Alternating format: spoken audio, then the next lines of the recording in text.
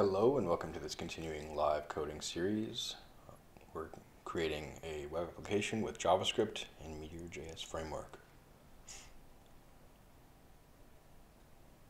In previous um, episodes, so to speak, we have been doing more coding, uh, various uh, data visualizations and things like that. And today we're going to take a look at some pull requests that are coming in from a contributor. Uh, they're involving some chart settings for one of our pages and early work on porting this project over to Vue.js from Blaze. So let's take a look. And I might be able to close out this uh, work in progress here, but I want to get these sort of smaller pull requests merged. So I've been checking out the code and it's been it's looking good.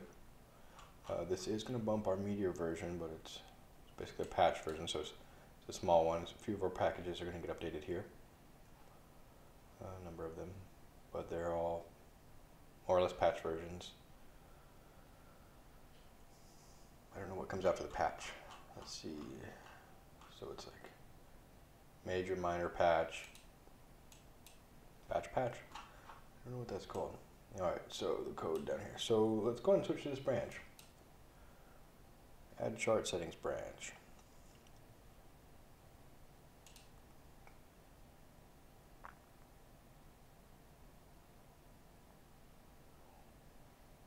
Mm, must not have pulled it from a remote. I should have. Those are tags. Here it is. Original. Add chart settings. All right, let me get some water boiling real quick. I'll have a cup of tea while I'm working.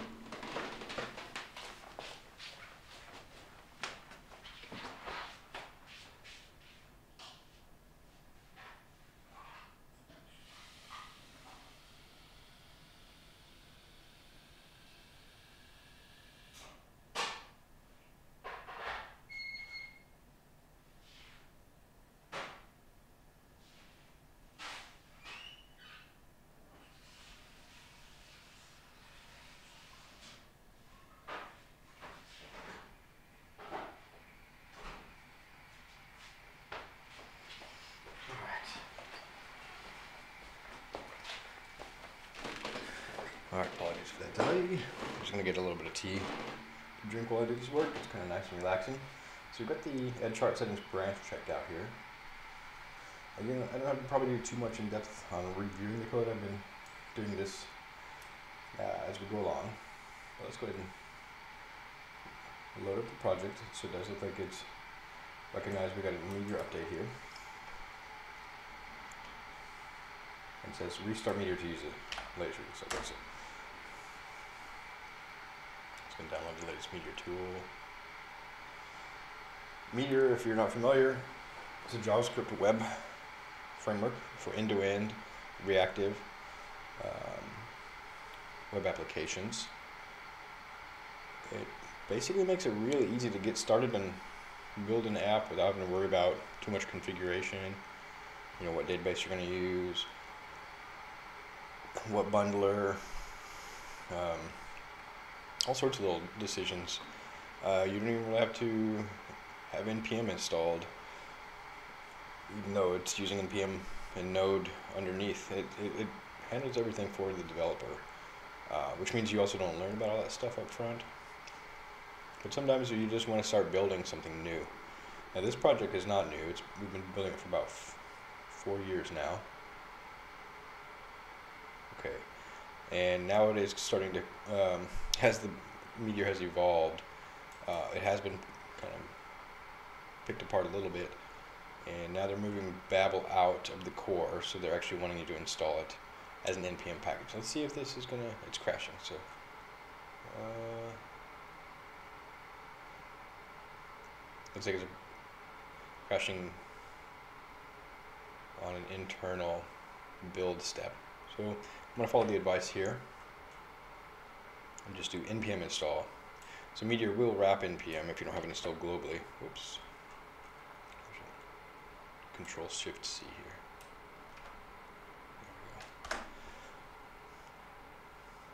And that should freeze it to my package JSON. Now if I run Meteor, let's see what happens. Let's see what my git says. We do have some new, one new package dependency. I'm wondering why Shaylee didn't pick that up. Hmm. So I did pick the latest commit from this branch. Alright, well, I'll go and commit to it and package you. Uh, what's, uh, oops, wrong button, wrong command. Meteor, gotta run Meteor again, so it'll build. All right, my water's boiled, let me just grab a pot of tea real quick. Just two minutes.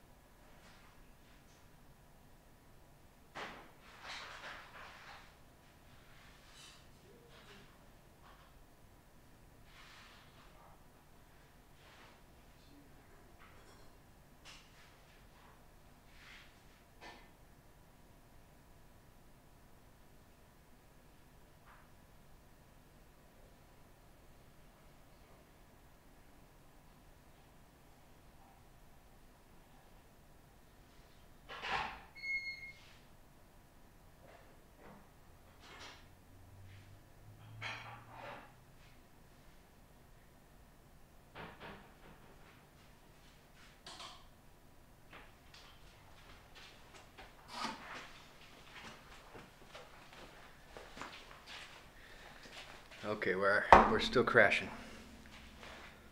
Bummer. Let's figure out why this is crashing. I'm just gonna rearrange slightly. Try not to bump the mic. There we go. See if we can read this a little bit better. Uh, Babel runtime helper is built in.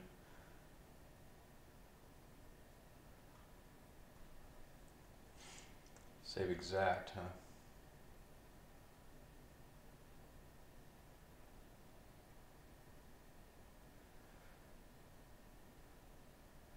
Okay, that is very specific. And you know, this is going to go away when we go to Meteor 1.7. I wish we. Somehow this patch level change is just. I know this is resolved in 1.8, but man.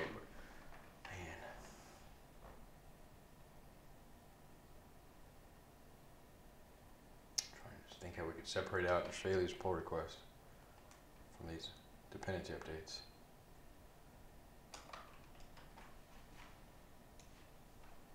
Okay.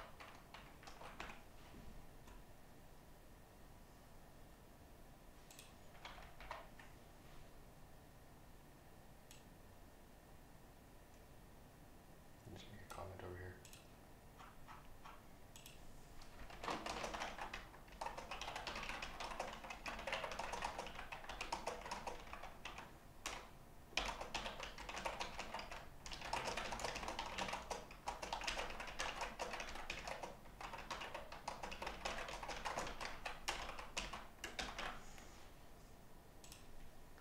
And we do have a work in progress pull request for the Meteor 1.8 update.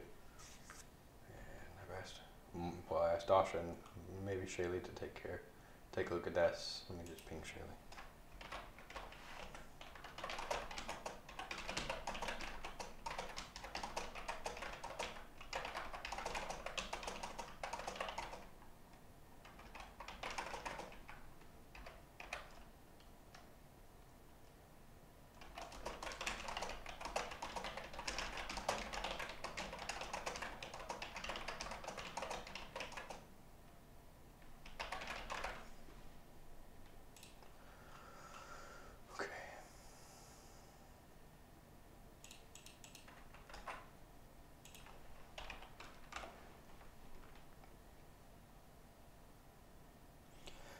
The reason this 1.8 branch is sort of um, on the back burner is because it I don't know if it requires, but we're gonna need to run a, um, an update on the Mongo, and I'm just a little bit nervous about that.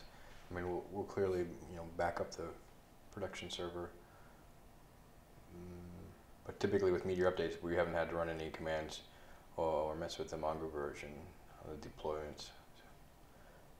Just see if I can ping Shaylee on this real quick.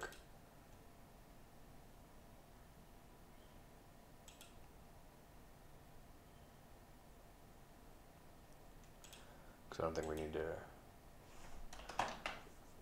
sort of do these patch level upgrades. Let's just go for 1.8.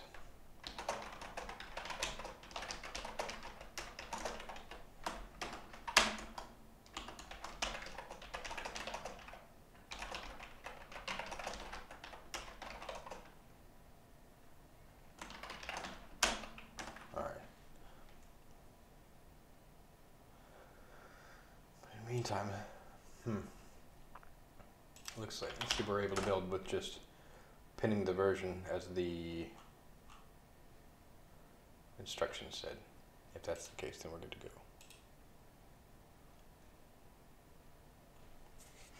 And I can commit that. What what's the change here then? Oops, wrong. So the package didn't necessarily change, but the pin version or what happened? 257 got downgraded because of the Babel runtime. Ah, I see. So actually, it's a it's an upgrade. We're still on a beta version, and Meteor and everything has moved on. Um, it's just because we're still hanging out back here at 1.6 point something, point something. And this needs to be bumped. We're to be making this release soon, though. And some of these others got upgraded too. Ah, good. This bootstrap has been hanging out, and there's security notices about that. Okay, so I think this is actually not too bad of a deal.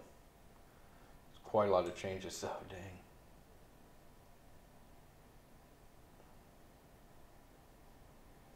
Some downgrades. Uh, oh, I see. It's not necessarily downgrade. It's just greater than.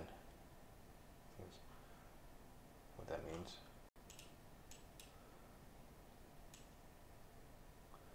Not like greater than symbol, but I think that means. Hmm. I don't know what this means.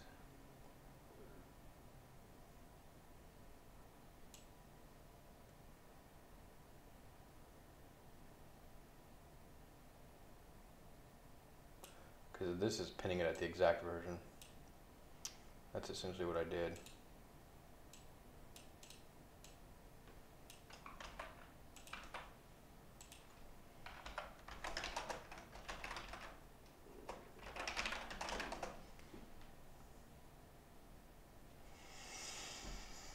Should commit to Shaylee's branch. It's a problem.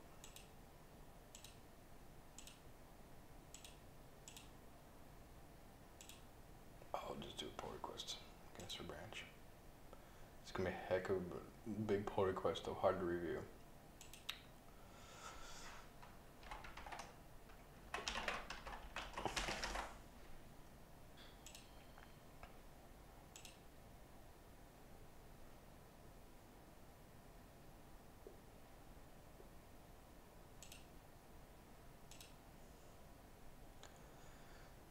Okay.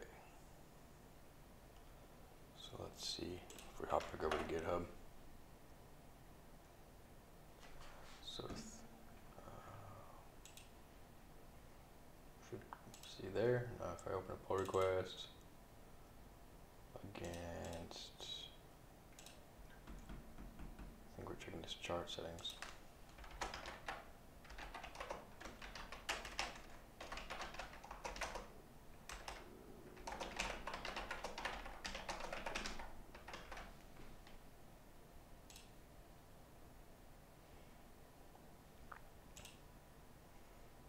Yeah, and it's a huge diff.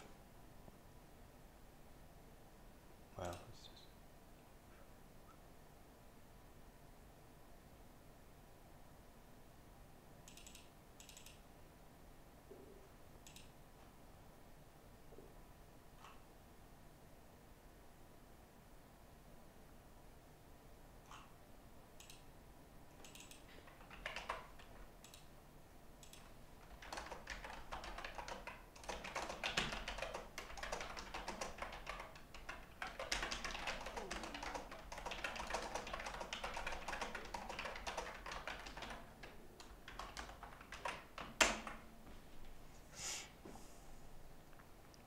again, any other work I need to do to get this run, I'll just do my branch.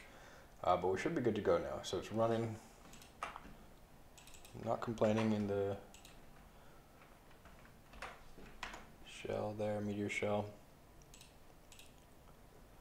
Cool. Hello to the one viewer in the room. I just want to mention in the lower left hand corner of your screen, you see a command there that allows you to highlight a line of code in the text editor here. If you see any errors or interesting things you want to point out, uh, try that command. Just exclamation highlight space the line number you'd like to highlight and then an optional comment.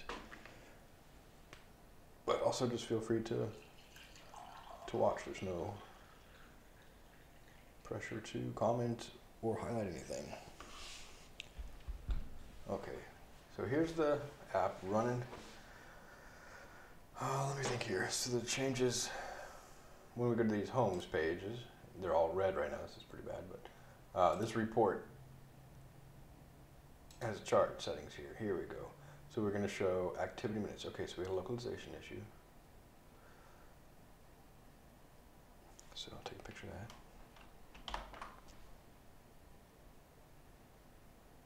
I should have thing Flameshot actually this is better.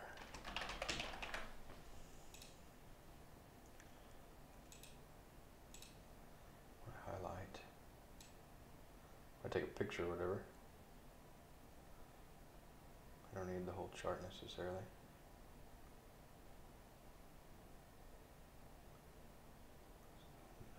Good context.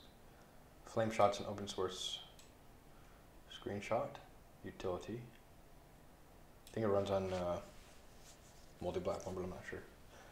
I'm running Ubuntu Linux here. But it lets you annotate and draw on your screenshots and blur parts of their parts of them if there's you know sensitive information, stuff like that. So let's go ahead and save this.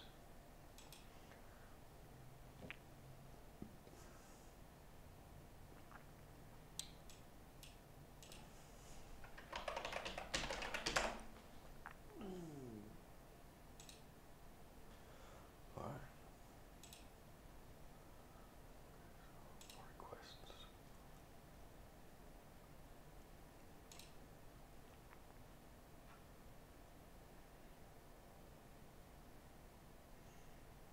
So this is outdated.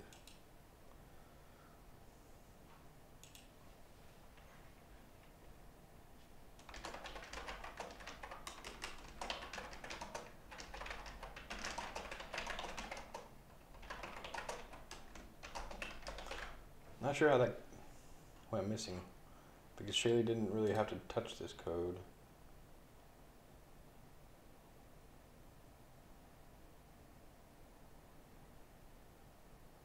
Huh. Well, I'll just put it there.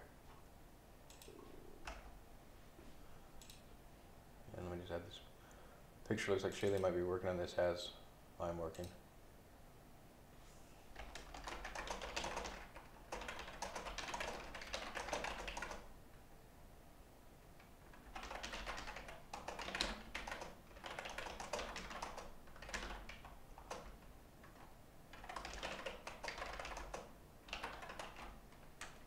Actually, please check. Yeah. All right, and I'll just refresh this page to see. Okay, there we go. So she merged my pull requests.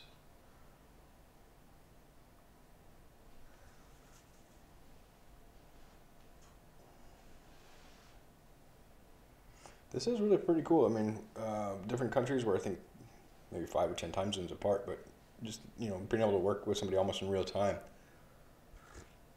over such a large distance. That's pretty powerful. Oops, and I just realized I'm not observing the stream chat, but nobody has said anything, so that's okay.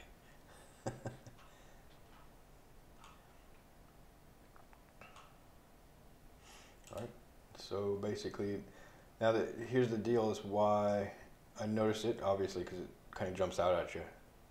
But I wanted to double check that this axis reflects ah the metric it's both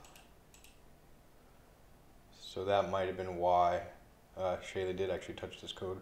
Uh, we didn't previously have this configuration, so the metric was defaulting to minutes or whatever. I think. Or anyway, so let's grab a Flameshot of that as well. Uh, but actually, the, with the activity count, same, same.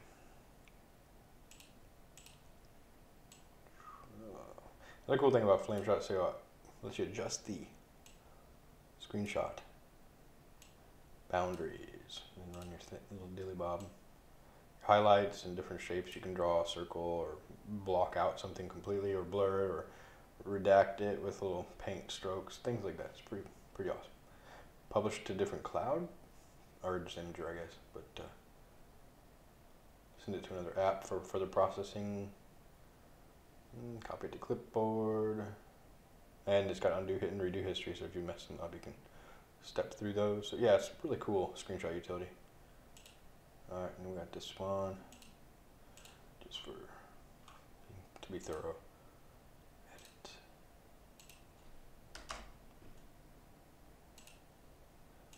So yeah probably didn't just go missing. It's actually the fact that Shaylee has improved this this chart page. Now rather than just showing y-axis label we actually have two y-axis labels that toggle based on the metric. Okay, but anyway, activity count, activity count, activity minutes, activity minutes. It's looking good. Values are changing. Minutes, 1500, 60. Yeah, so they're the right orders of magnitude. Let's try the little aggregations. So we're showing weekly here, January 20th, January 27th, February 3rd. So they're aggregating to the first Monday of the week, I think it is. Monthly, first day of the month. Pretty straightforward. January, February, March, April, looking good. Stack it, stacked week. Oh man, this is great. Really good stuff. And then that basically gives the end user a way to, uh, you know, ask specific questions like, like how much, uh, how much are people doing art? All right. Uh, how much? Oh, when you change a metric, the whole thing renders. Okay, well, that's because that's outside of. This is Plotly. This in, this uh, legend, interactive legend, is part of Plotly JS. Uh, these are our own configuration UIs. Anyway, everything else is looking good.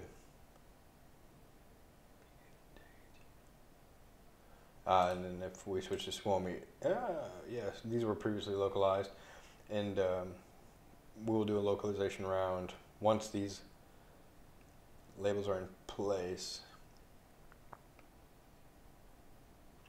Maybe Shaylee just didn't think she that was her sort of part of her work,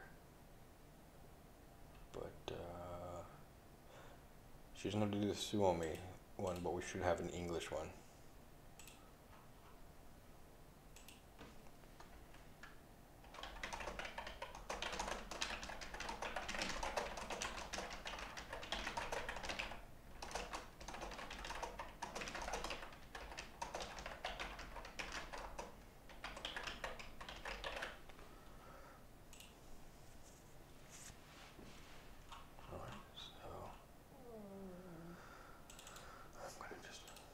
change the label.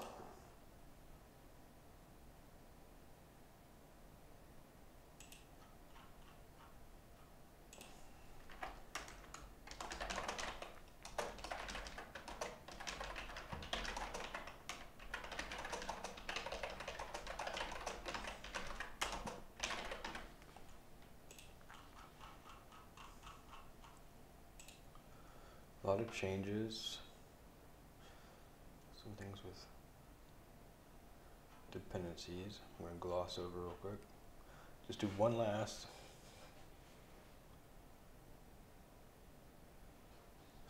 scan of the code. Typically we use camel case when we're attaching these to JavaScript function for IDs and class names.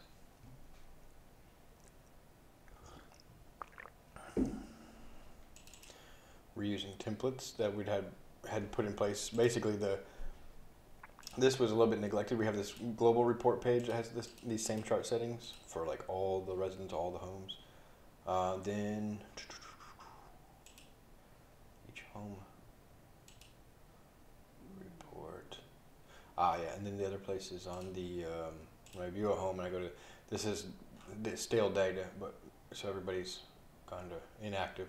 I can refresh the data, but uh, in any case, uh, on the individual home uh, resident, sorry, same same kind of metrics uh, configuration. So the we got some really good feedback on this just by being able to do this grouping and stacking and then filtering. Uh, really gives people uh, double click it. There it goes. You know they can just say we want to know how often they're doing music and art, stuff like that really cool. And then double click to reset. Pretty powerful. So ask your own questions uh, because by way of example, the city of Tampere, where this software is being used and developed for um, Tampere, Finland, has a sort of a mandate to make sure that every resident in the care of the city, these are elderly people uh, with dementia spectrum disorders, uh, that they all get, I think it's like 120 minutes a week of cultural activities like theater, art, music. Uh, depends on how you define that. So this data is really important for enriching people's lives. It's like verifying, so you can validate basically that the residents are getting the activity they need to live a fulfilling life. So it's pretty rad. And basically, uh, for those who haven't seen the way it works, when a caregiver uh, could be a um, staff person, um, family, or volunteer, and even some of these activities can be self-guided, uh, but generally there should be there, there's generally somebody else facilitating.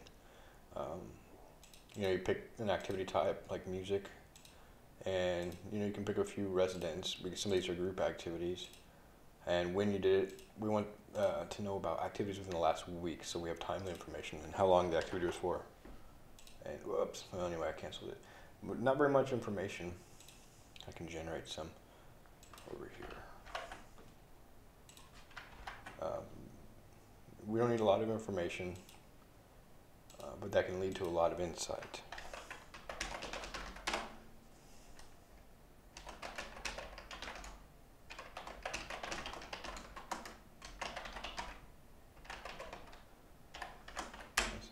if we can generate some. Once that runs, we should have a lot better view. So this is what you would see on a daily basis. Mm, probably a little more red, but anyway, this is really fresh mock data. Uh, you can see the pr proportion of each home. These homes uh, in the um, real world, so to speak, in real life, have usually 15 residents each, each of them. But there are some larger and smaller homes. So the proportion of residents that are in the three activity tiers. Inactive means basically haven't done anything in the last seven days which that's pretty bad. Moderate means you've done a few things, I think under like one to five activities in the last seven days. Excellent means you have almost had uh, one activity a day. So then there can be tons of homes. And then for each home, we want to see all the residents, how many days out of the last week they've had those uh, activities and how that's reflected, you know, red, yellow, green type thing. And you can see if there's any trends like was there a particular day that there was a big gap of residents? And what was what were the staff doing that? You know, did they have some other priorities? What's the overall trend going on? Uh, so it's got a downward trend of the excellent, but the yellow is increasing. So I think if these, you know, dummy data, but the staff continued on their path, then would, the green would start coming. Uh, wait a minute. So yeah, because the green is going down, the yellow is going up. So mm, I think it's mainly, you know, these gaps. Uh, then you know you can start filtering in on the individual residents to see what kind of stuff they want to do. Or if you're just during the summertime, you know you know how many people are going out or who hasn't been out very much. You can answer those types of questions. Overall, um, are the activity types pretty balanced for the home? And are the facilitators balanced, or are the staff doing their work, or we, do we have a shortage of volunteers? a lot of insights you can get just from a few, filling out a few fields. All right, so that's this PR.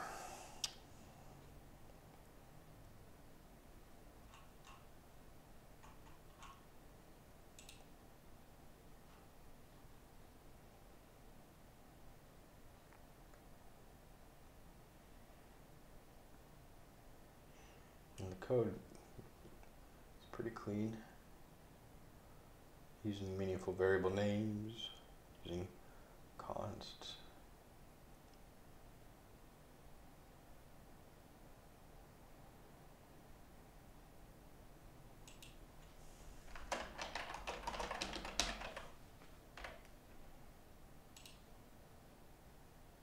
These aren't relevant anymore, these comments.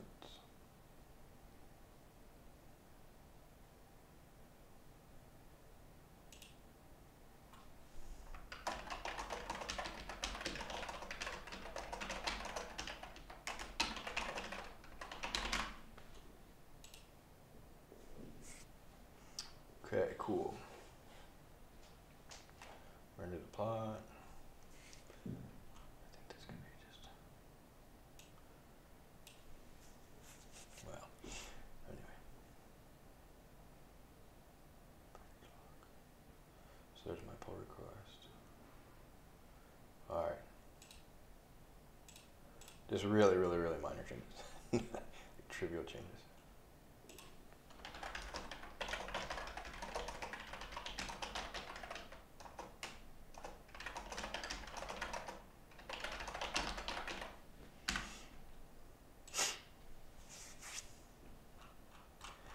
Alright, let's take a step away from this pull request. In action.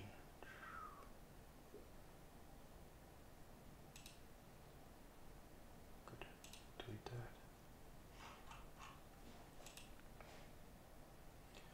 Ah, so the view component. This is what I've been really looking forward to.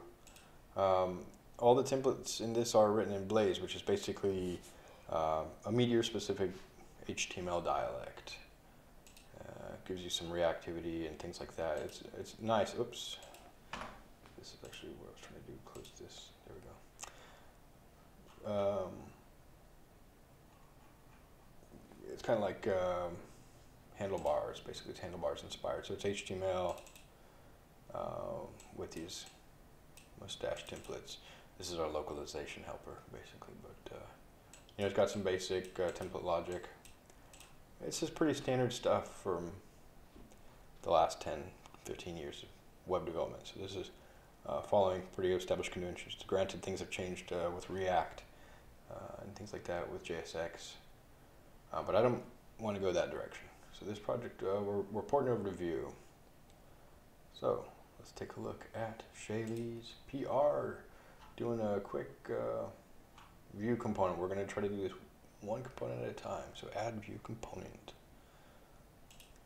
Incremental adoption. So let me find her PR. Add Vue component. There we go. Okay, so oh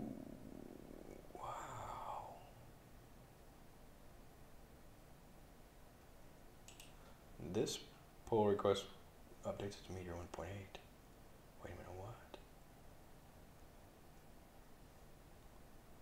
How did that happen?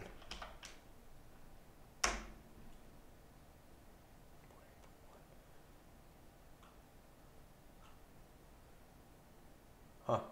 Okay, I didn't realize that.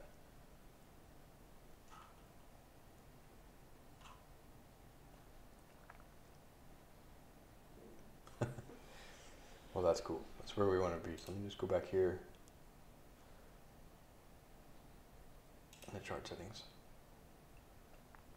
PR.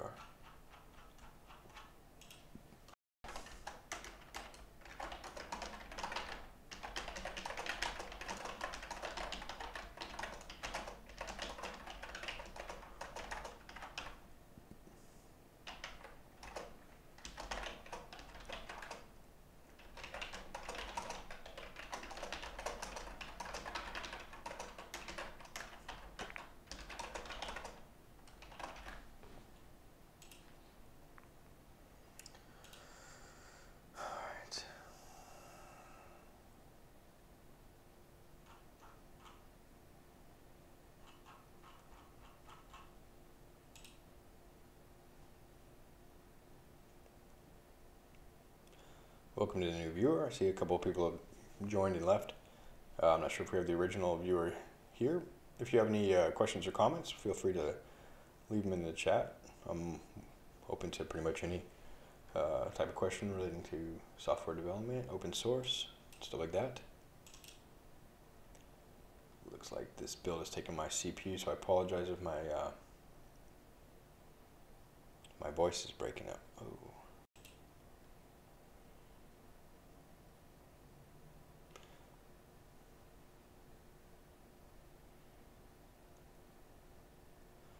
Uh-oh, I think I'm gonna have some file space problems, so my computer is gonna really struggle here to stream.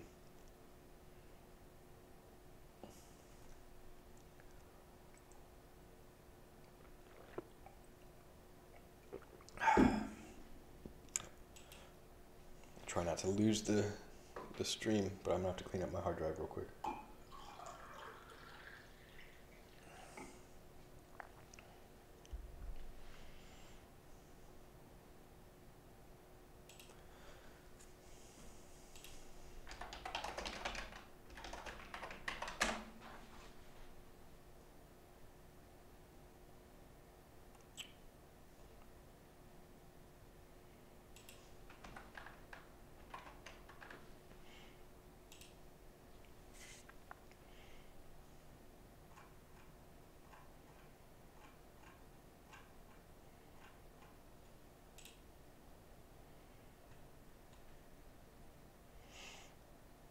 Alright, my swap up. Just running a quick scan. somehow my hard drive got just saturated.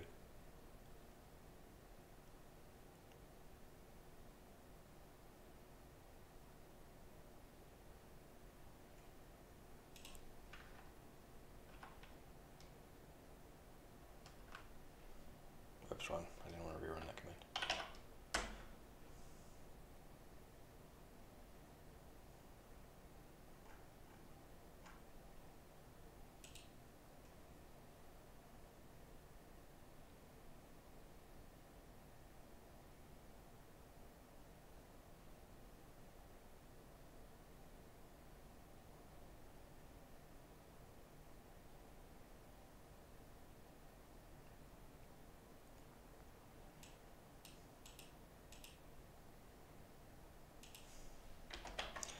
This is what I'm talking about. The uh, Mongo update makes the old data incompatible, and you have to basically migrate it. Since I have dummy data on my local environment,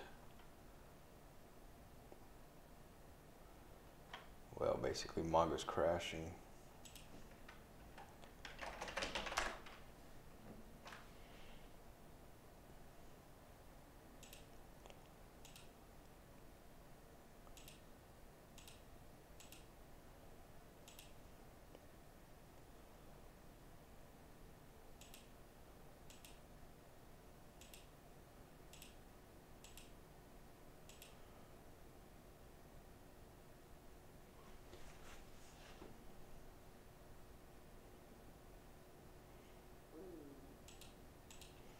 All right, cool. What I'll need to do is create an initial admin user and generate some mock data. But anyway, I have to cross this bridge some point, so let's just do it. This Meteor 1.8 upgrade, Mongo upgrade. It's good stuff.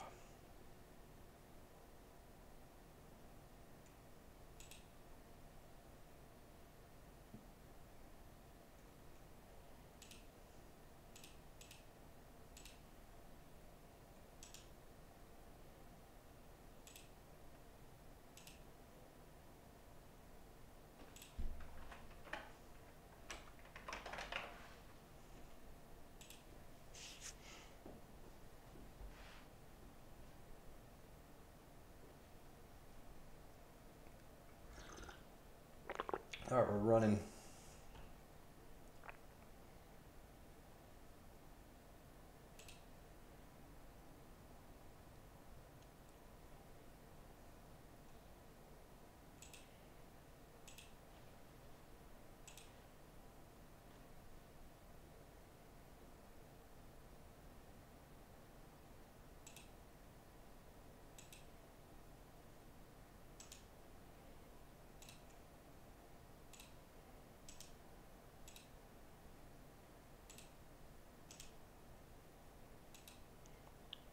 Clean up a couple of things real quick.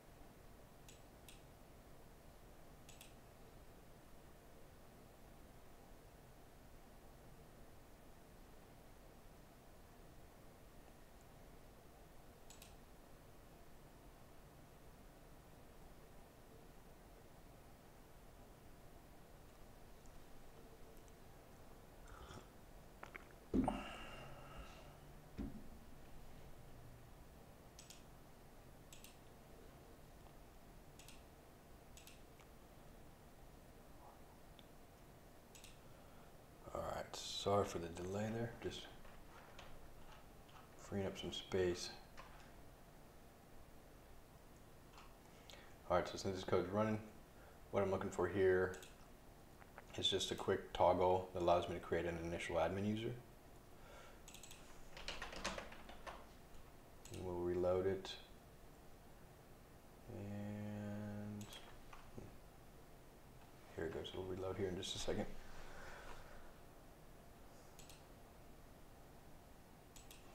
Or maybe I'll have to do it. There it is, register.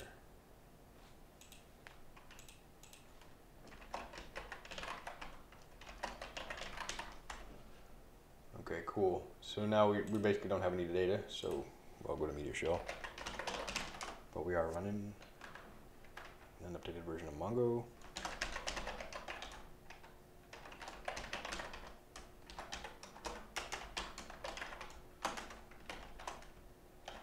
I'll have to read the Mongo docs about how to uh, do that migration.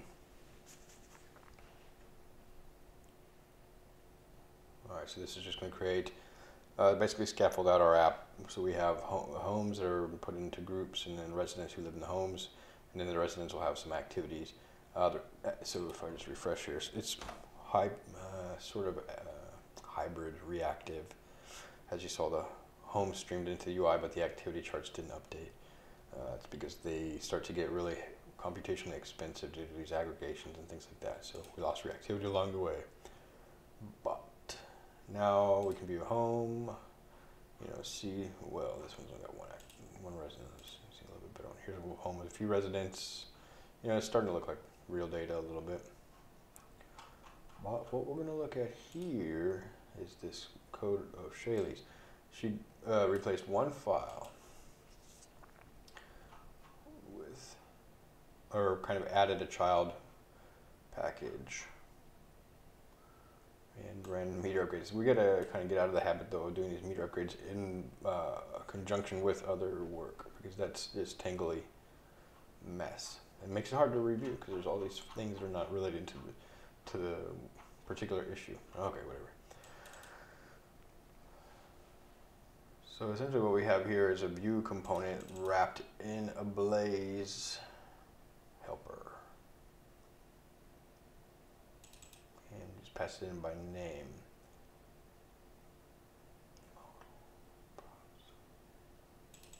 So this is standard Meteor Blaze stuff here, basically. And then borrowing in the convention of React and Vue properties coming in as props. Now, here's our Vue component. Woohoo! Yeah. Um, so it's pretty similar to Blaze, and it's just HTML, pretty much, with a few little decorators there for event handling. And it also uses the sort of handlebars like syntax for for you know, template template interpolation. And it has some nice things like piping so you can have uh, filters that run on or take it's basically a function that takes an argument um, whatever the text is or value here gets kind of piped into this function. So we're borrowing it here, wrapping this localization thing because we want to maintain our localization strings without having to redo the whole localization process. Uh, and it's just JavaScript at the end of the day. So a lot of these things in the strings, when when you do any binding with Vue, either event binding or uh, or data binding, uh, things inside these quotes actually just become JavaScript. Um, and then if you, you know, the Vue specific stuff is just JavaScript inside script tags. So this is stuff like, you know, more or less we've been writing HTML and JavaScript, you know, sometimes in single files since, you know, the 90s. This isn't new stuff. It's kind of got some new syntax. And I think Vue 3 is even going to allow us write plain classes and stuff, do a class-based uh, API. That'll be really nice. Okay, but in the interim, for this project, in order for us to transition from Blaze to Vue, we have to have a little bit of baggage. But that's it. So the main thing here, oh yeah, here's this localized filter. So it's just wrapping our existing localization um, package helper. And this is the function double underscore or dunder that grabs the localization string. Uh, so Shaylee kind of, in a flash of brilliance, I guess, or well, anyway, she. This is very elegant, and I thought she had done it a different way, but previously that was even nicer. But anyway, she went with the filter approach. I think so that we could have this. Ah, yes. So this is its own help uh, component. It's a shared localization component. Yeah. Shared Vue component, Vue component, okay.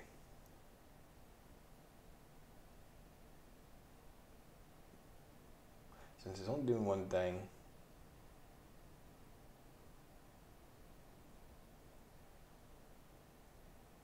we might just name it what it does, localize. Let me see how this is imported real quick.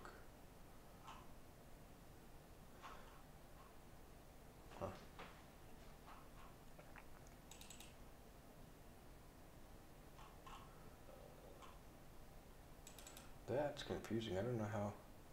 So she registered as a global component, it looks like.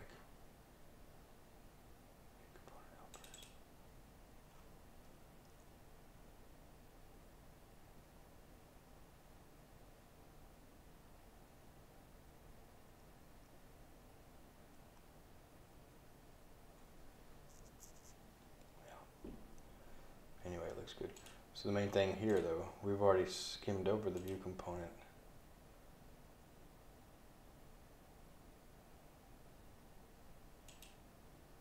But it didn't detect Vue.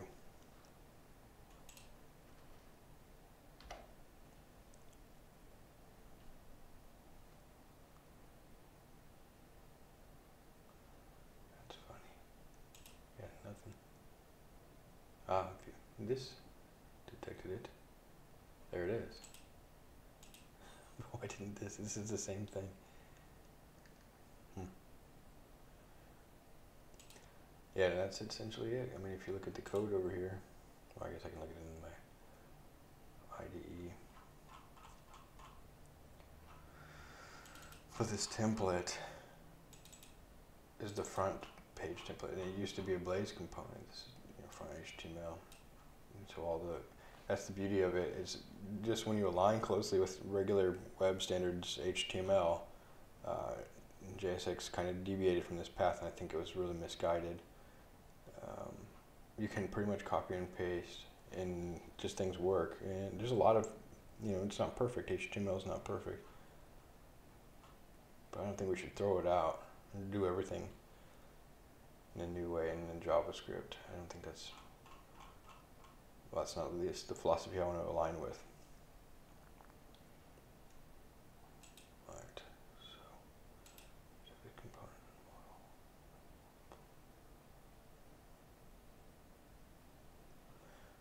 we're not using Vuex. And we're not using the router yet.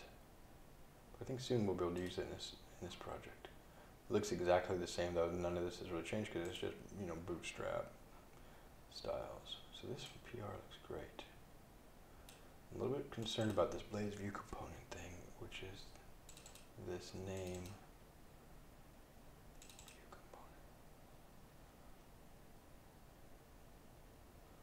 Props, props. I don't understand.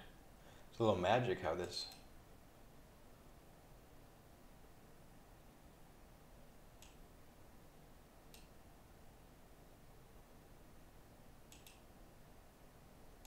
How this gets passed in there. With Vue, typically when you want to inherit, you want to inherit a component. Or what is it called? Let me just double check this.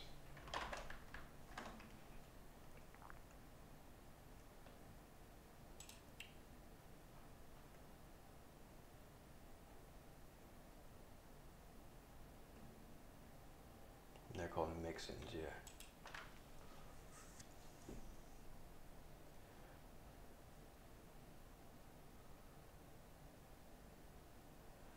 Prefer to do it this way.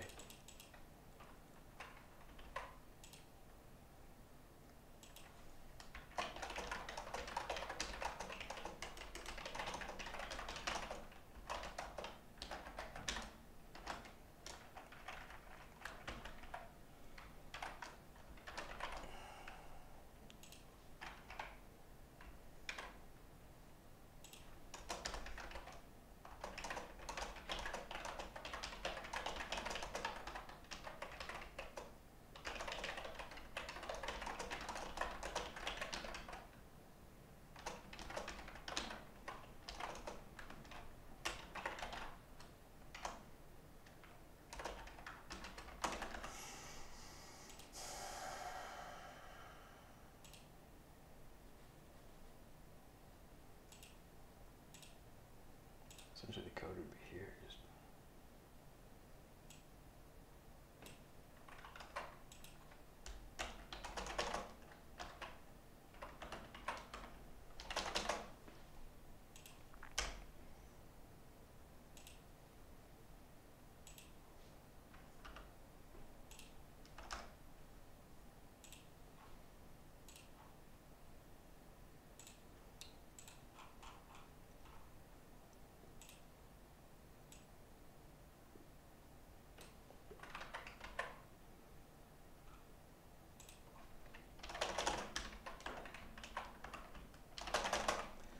and just double check.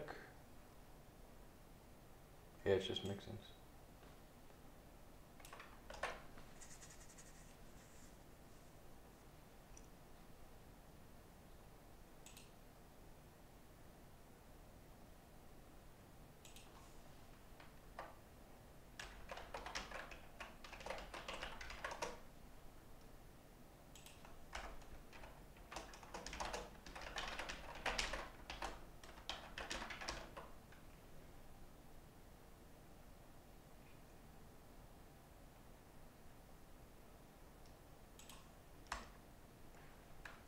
Let's see. Uh, what's the JavaScript?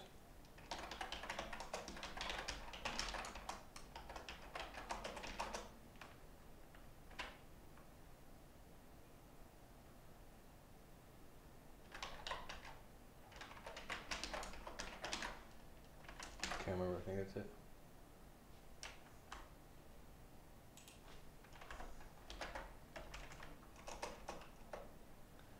That's props.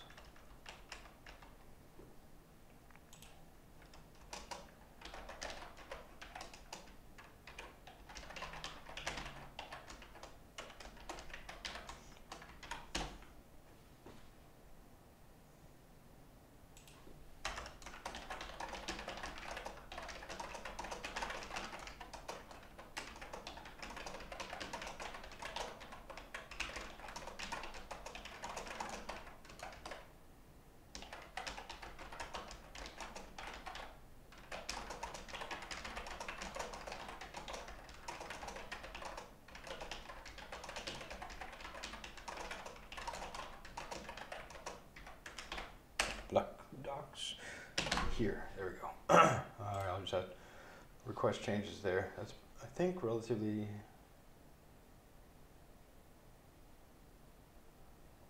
close to what we want.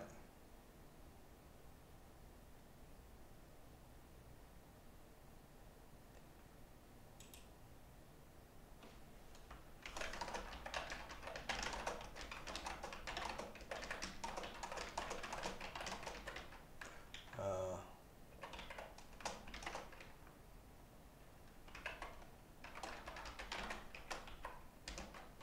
Well, actually, no, let's just call it mix-ins. So.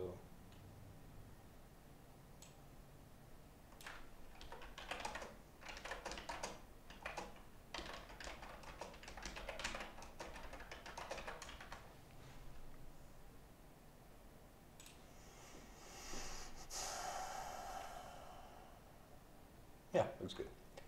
Our request change, but I don't know if it'll work. I'm all, and I'm fine here and it won't work. But this is the like way you do mix-ins in Vue. You you get it in your local scope and you assign it here to this mixing pro- mixing property. Uh, it's sort of a little bit mysterious. Oh yeah, okay, so there's that. So I thought. Uh, in any case.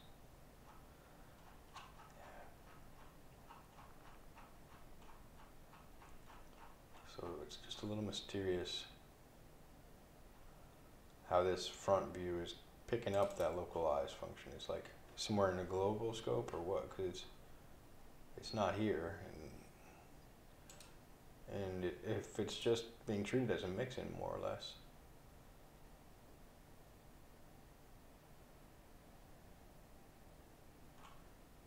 Then we should follow the Vue, sort of the Vue official approach to these things. All right, no need. Looking good. Hello, three viewers. I just noticed uh, increasing there. Uh, feel free to um, add any comments or questions in the chat. Uh, what kind of front end frameworks are you all working with? Is anyone there doing uh, JavaScript? Any end-to-end JavaScript you're working working with? I'd be interested to know. Sort of like what drew you all to the uh, JavaScript live coding session. If there's anything uh, you're hoping to learn here, I can maybe also um, plan a couple sessions uh, to live code some other topics and libraries.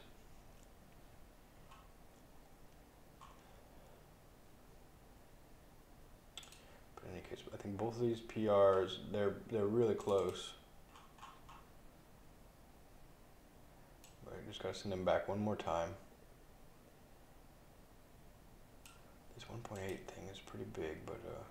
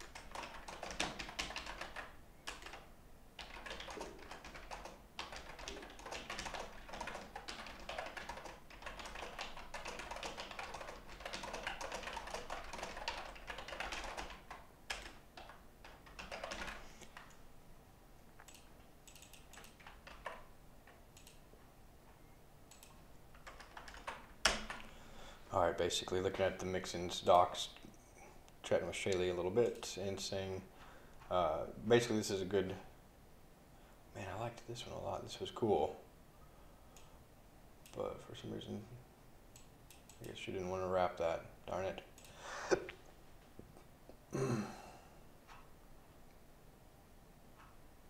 okay, so we'll use the filter for now. Filter approach, no worries. And mixin, that's pretty clean.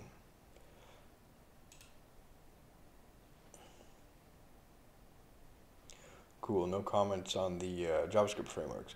Uh, also, if you're just joining us, uh, you can highlight a line of code in the text editor if you've got any questions or to draw my attention to a particular line using the command exclamation highlight, the line number, and then a comment. Like this. That should, oh yeah, but I hadn't uh, actually joined this whole time.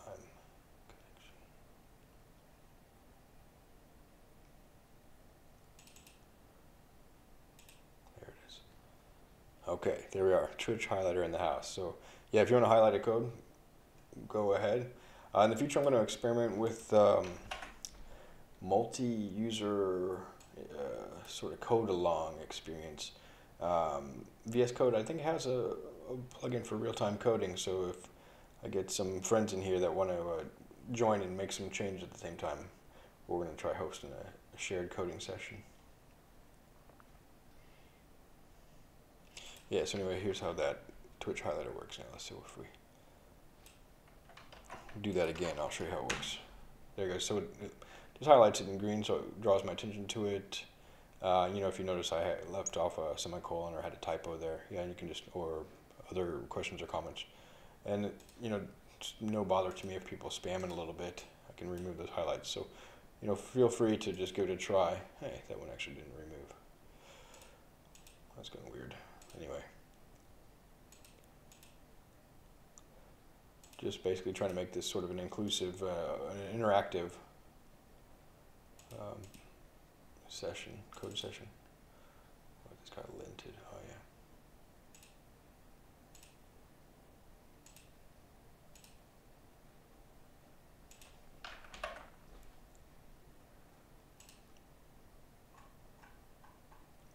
The last thing I'll take a look at during this is my pull request. Um, probably have to rebase this. So let's see, user group assignment. My local. And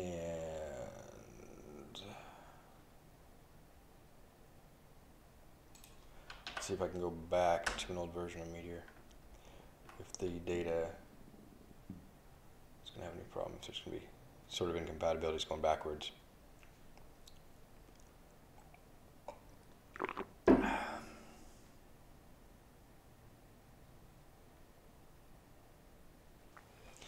So yeah, so I think Shaylee did in her other pull request is she ran this patch upgrade, and I just asked that we not do dependency upgrades in the midst of um, particular, you know, work assigned uh, regarding relating to an issue that we keep those separate. Just from my past experience, um, when you get updates tangled into your your main working branches, your feature branches, uh, the updates sometimes cause problems, and it can be confusing whether or not it's a feature addition or the update that caused it. Also, it's harder on a reviewer, particularly when you have a lot of files changed.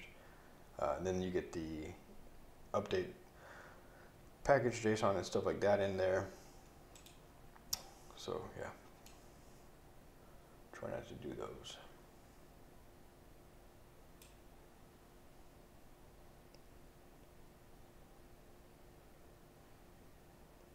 Alright, so it looks like Mongo can't roll back or forward. Um, I'll have to figure out how to migrate the data here, but uh, on my local development environment, I can just reset and regenerate. Hmm. This is why I haven't really wanted to go approach this 1.8 update, and we still have the 1.7. Uh, I've been pretty far behind on the Meteor Core updates. I think 1.8 resolved some problems of 1.7, so we're just going to try to, to hop over that.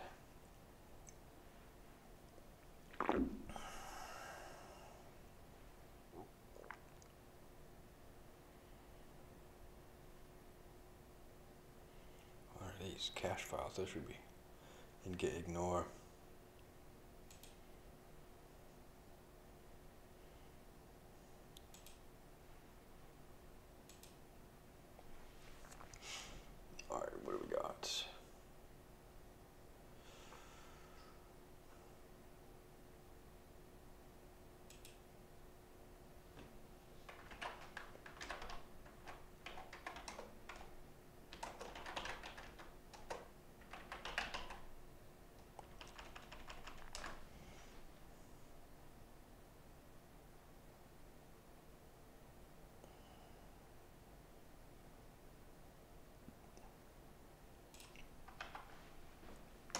This is gonna give me the same problem though.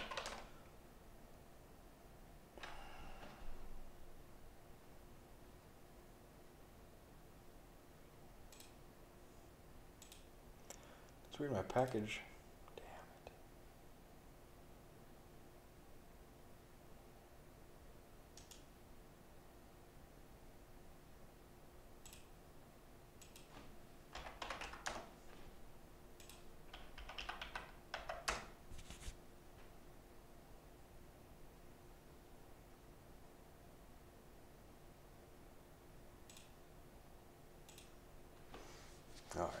Had to had to be restored. This jumping between the versions also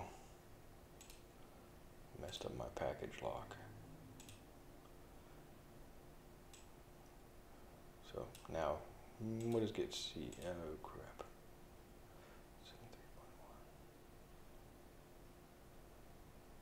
Well, let's try running it.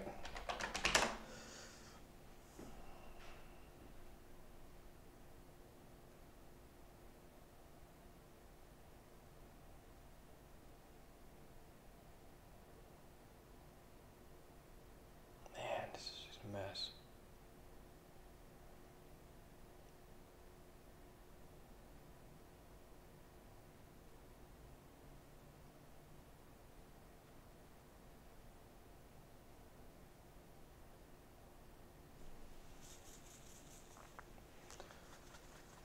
What I can do is rebase. Man, I got to figure out pick a pull request that's likely to get merged first. That's not what I was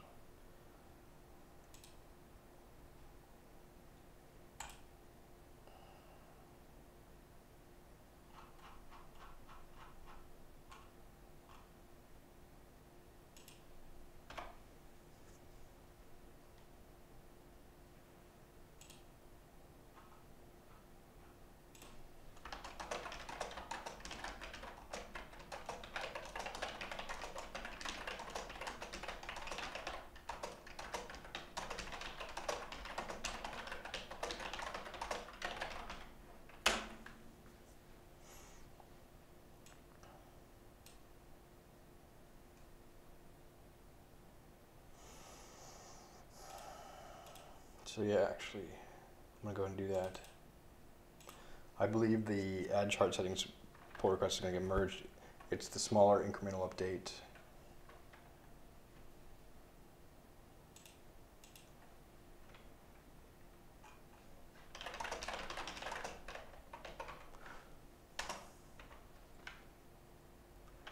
Problem is then Shaylee's gonna commit to it.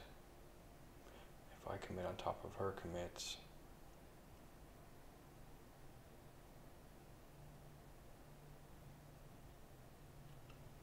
Man, this is not a simple simple situation. I might just leave my branch until hers is merged and call it good for now. And these comments aren't really super important.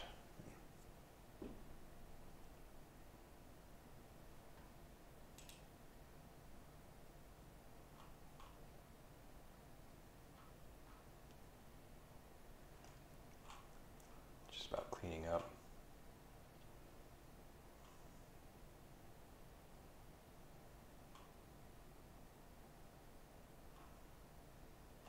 And there's a localization. So yeah, she's going to be committing into this branch more.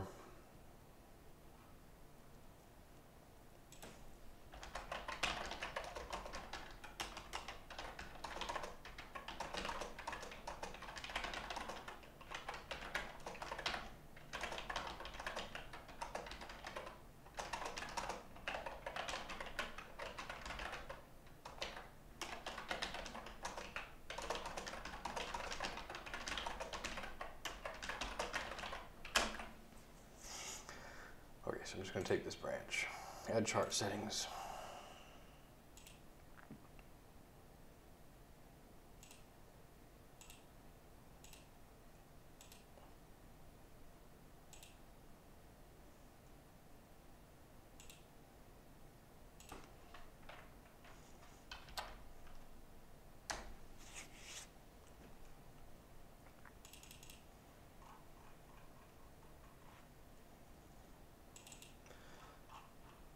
Essentially, clean up these comments. That's you know, like one commit, and add these English localization strings. Uh, that's one commit. This is ready to merge. Looking good.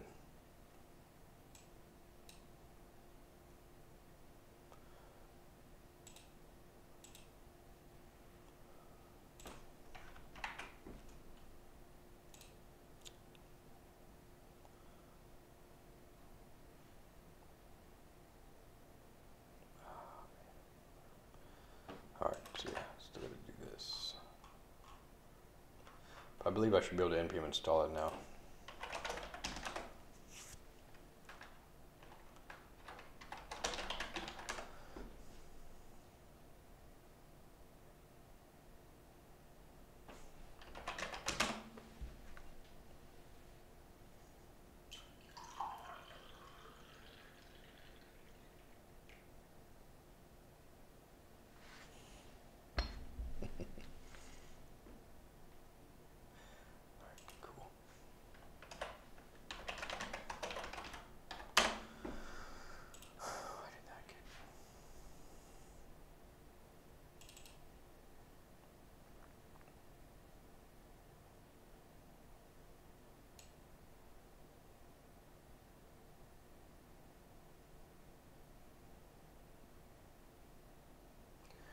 If we're using different versions of npm or something.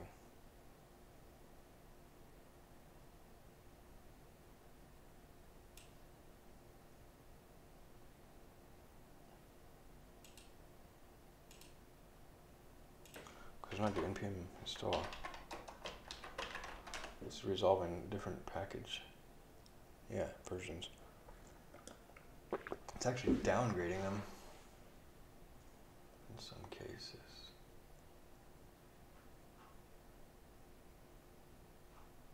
Huh.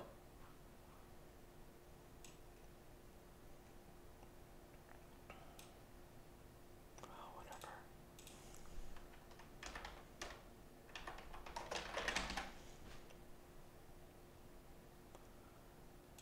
Let's do it. We're out of sync now. I told her in chat I would take this and finish this pull request because it's really good work, and I just want to kind of take it the last, uh, last inch.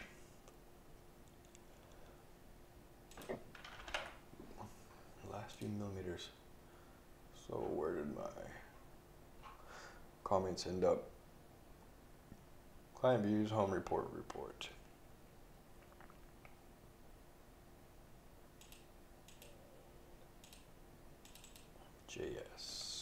There's any lint first. Just always save first thing I do. Because my IDE will lint on save. What are we at line 47, so I went past it. And Shaylee did this. Boom. As well as, what is this, 67? Yeah, no, yes. Uh huh.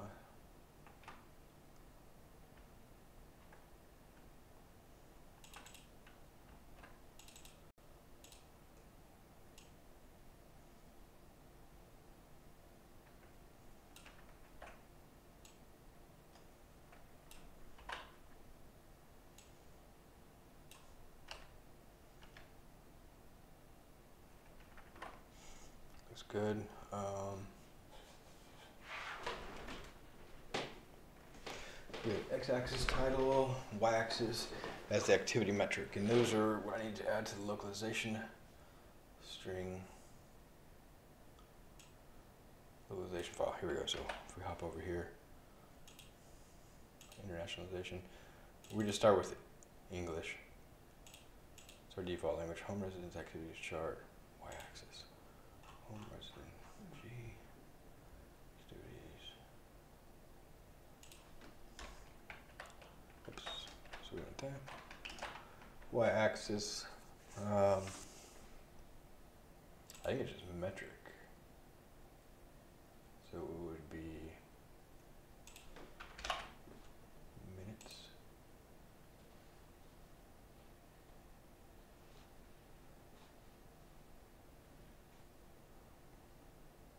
Count. Well, let me let me just get some dummy data real quick.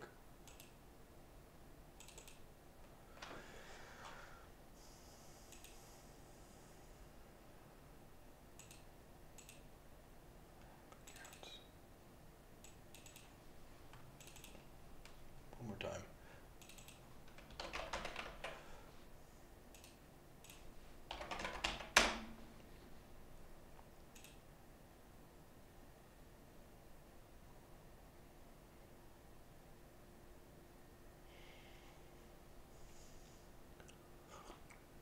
All right, we're up and running.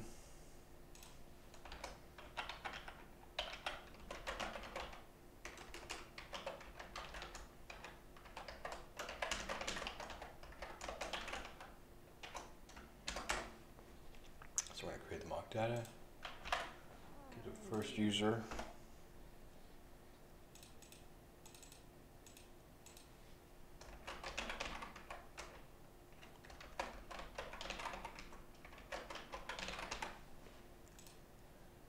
There we go. So we get some homes. Let's view a home report. Looking good. Yeah, so it's just underscore minutes.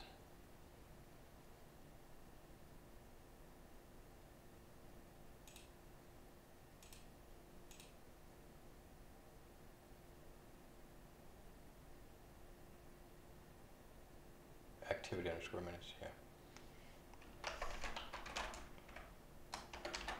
'Cause This came from the back end.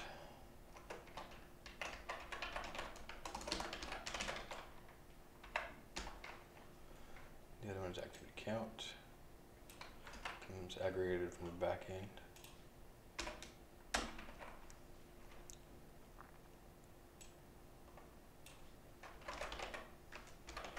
Well, it's end-to-end thing. We use the same variable name from the client to the server and back to the client. Alright. So I save this. Activity minutes. Activity count. Looking good. So let's just commit these.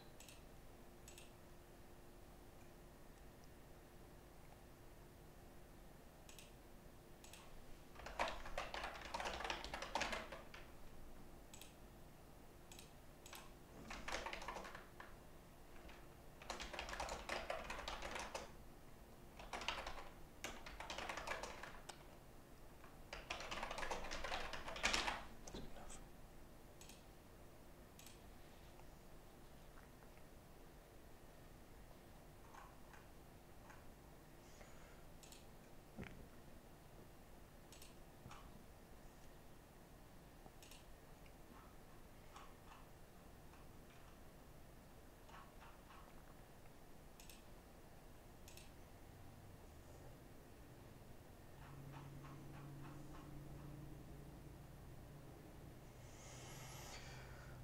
Doing it. Here we go. Let me just think for one more second about those um, dependencies. Do I have to do anything with those? Are they? They're okay, I think.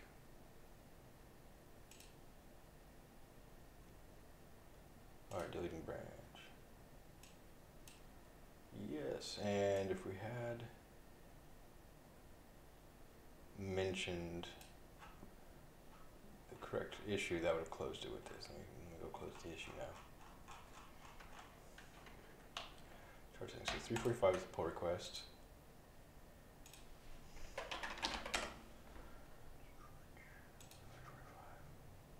Let's do this.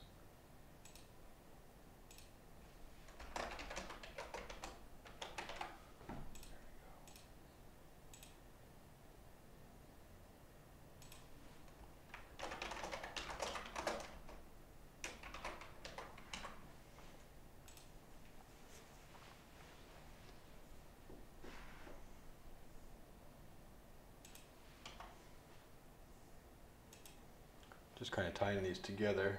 Three, three, five. Closes so I referenced itself.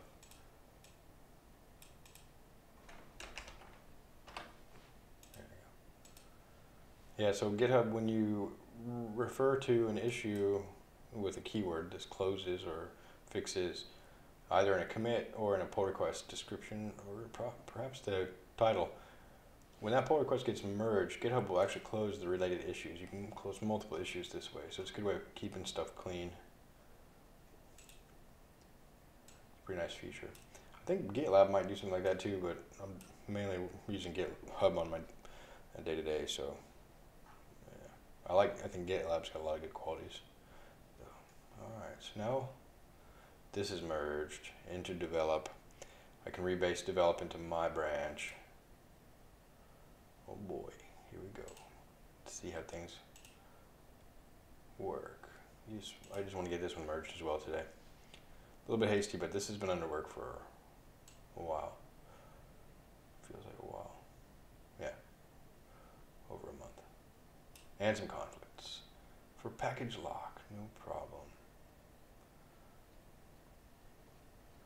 If I rebase, that might resolve it.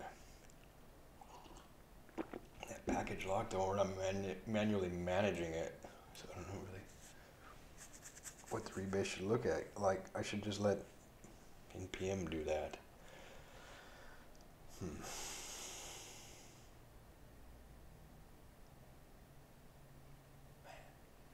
Yeah, because if I take, now it's going to let me use the web editor, so they, they can't read too many lines here.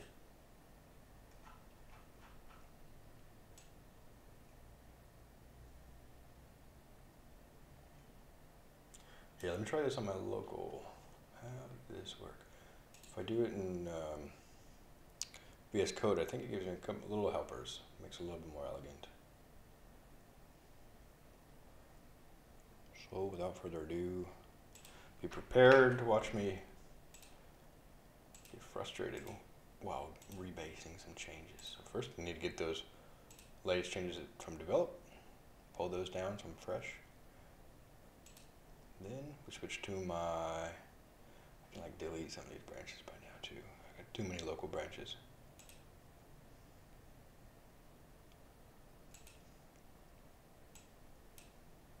I don't even know how old some of these are.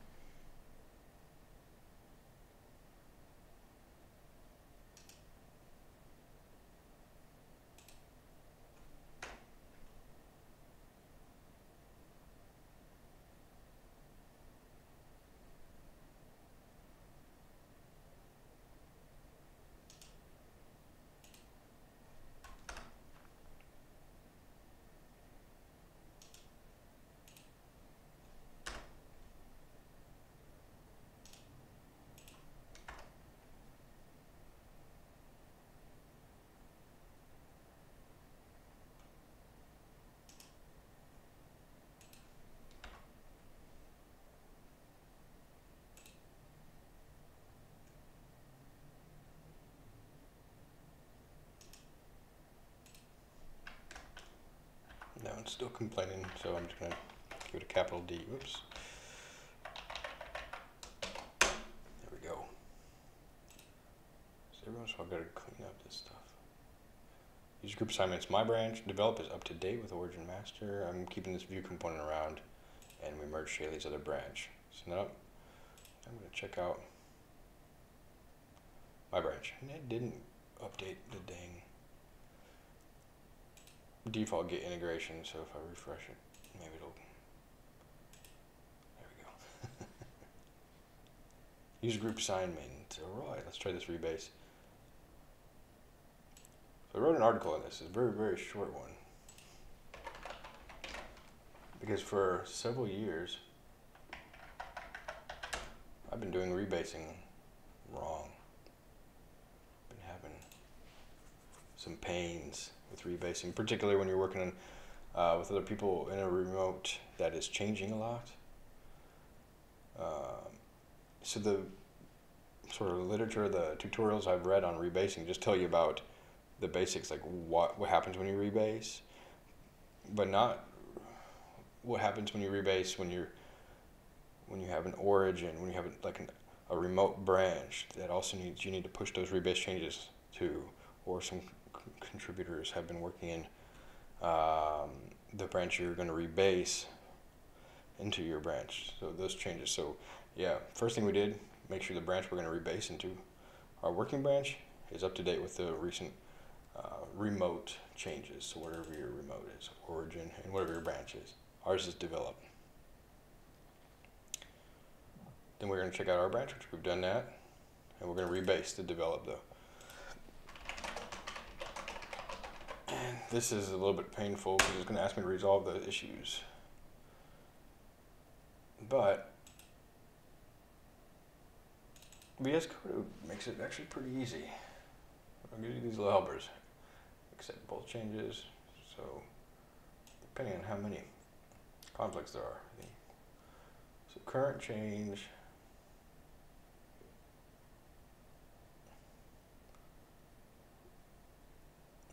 is the one I want here because we did this 7.55.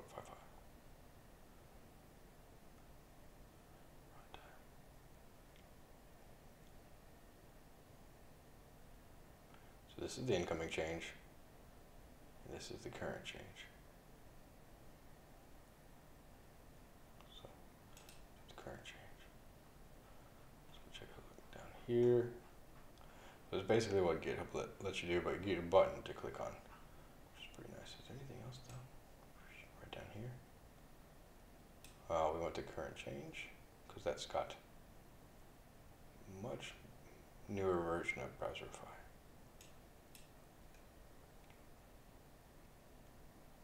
Oh, HTTPS Browserify. What the heck? All right.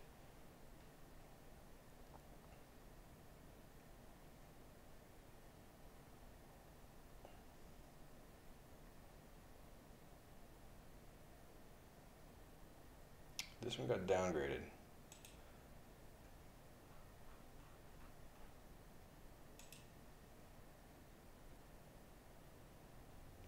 I'm going to pretty much just default to the current change in all these cases.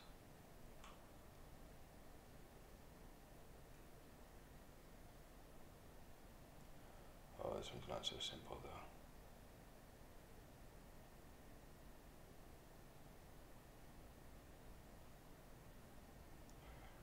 Stream.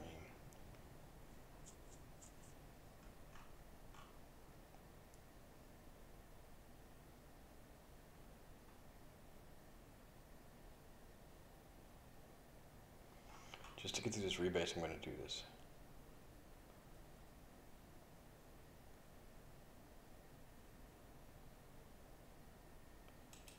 And I'm going to let NPM generate this stuff. This I shouldn't be messing with.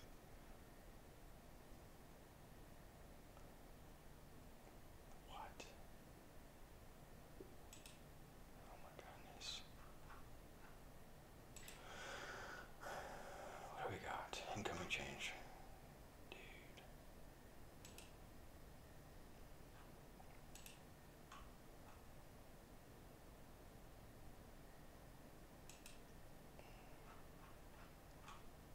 Alright. Yeah, the nice thing about having those buttons is it cleans up the comments and we'll pick one or the other. Uh, but I think there's this is just gonna be messed up right here. So anyway, we'll save it. We will continue.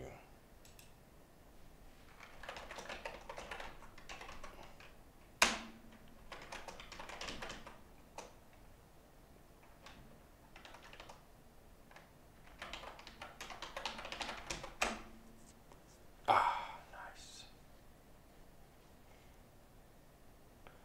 Okay, so at least this.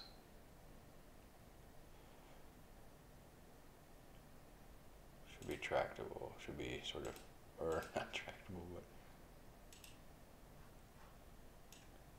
I should be able to figure it out. Hmm.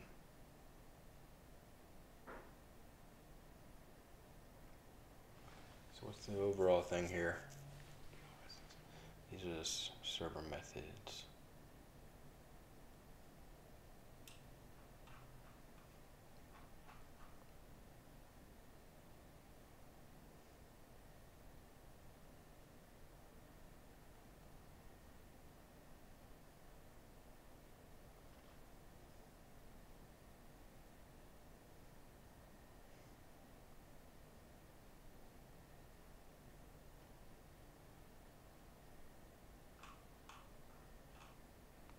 We should use both changes here.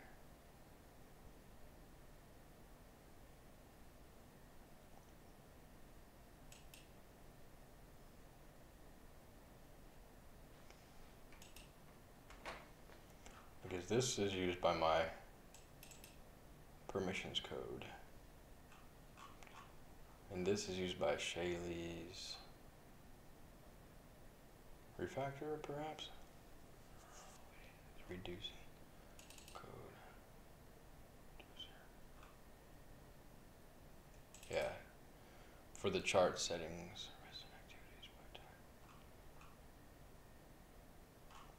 I think that was part of her pull request. So we got server publications, methods residence.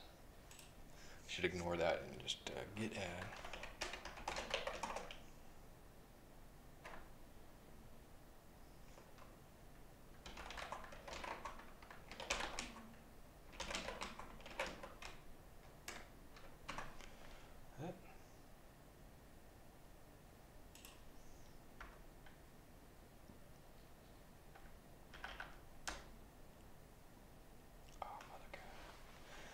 The fortunate thing is I'm running these.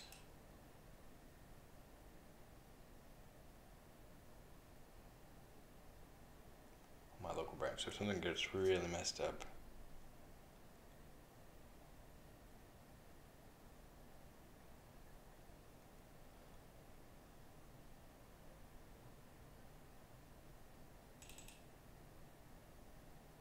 Yeah, I remember doing that. So I'll just take that.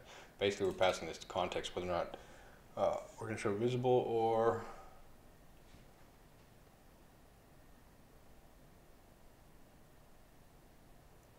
so users uh, residents who are visible to a user, meaning that the user can see them, and then whether or not they are departed, if they have an active residency or not. So this nothing was changed in head. Incoming chain looks good.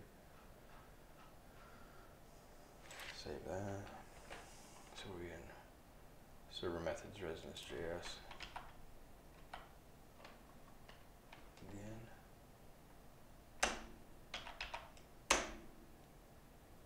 Okay.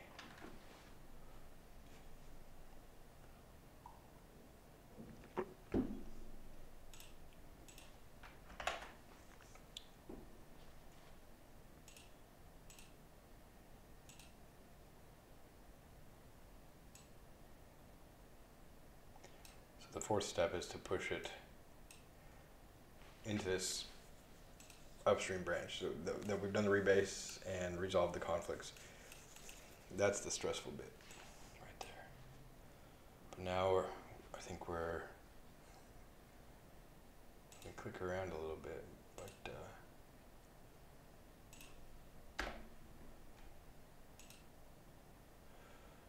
we're not running.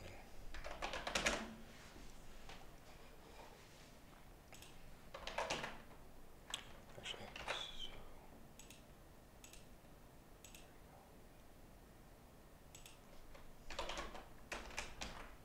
clear. Thank you. Exit. Exit. Preparing projects. So let's see if this works. Introduce any bugs. I can refresh this now. So yeah, this user hasn't been assigned. They're an admin, but they can't see anyone.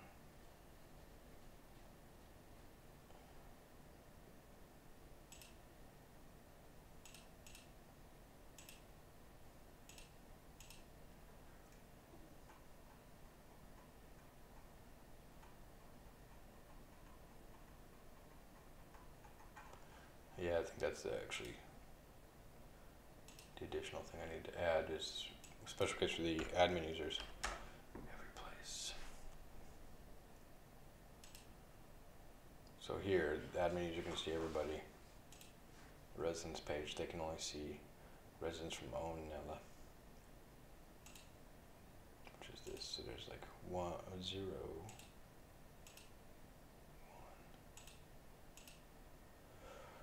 Two, three, four, five. So five users, five users.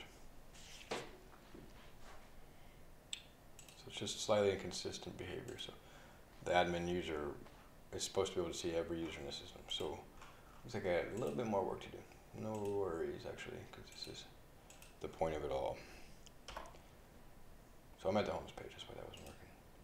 Admin user can see the report, they can see all the reports in fact.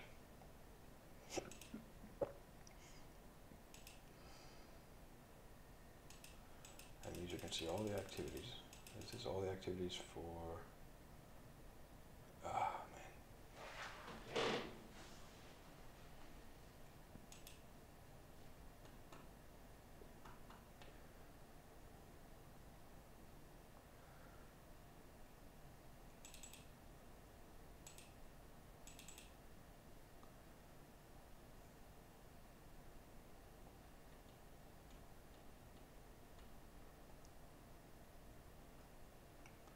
Here I could short circuit it. Get user visible active resident IDs.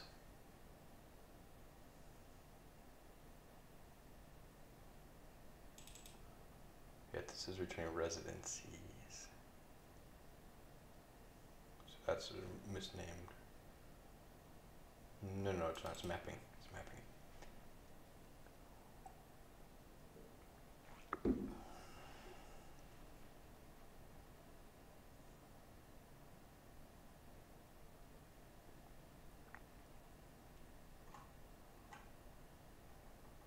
Just going to trace this from the client node. I believe I can short circuit something like this. So, um, so I have the user ID there.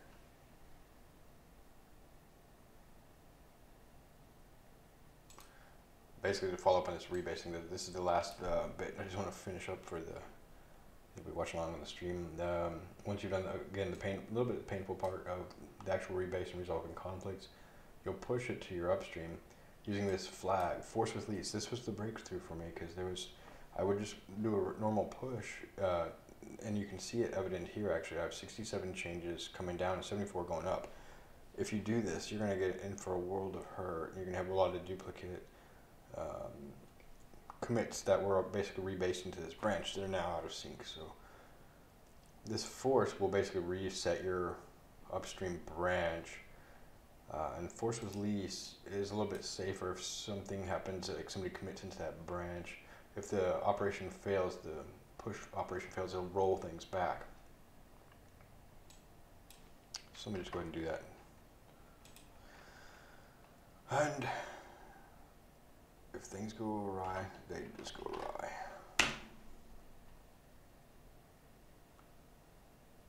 Alright, so now we're gonna, this should just update in just a second. I actually just trigger it. Oh, I was already there. So if I just say, hey, refresh.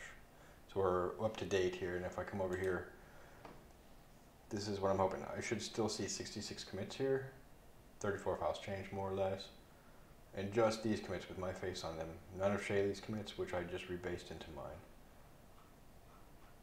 If I refresh this page now.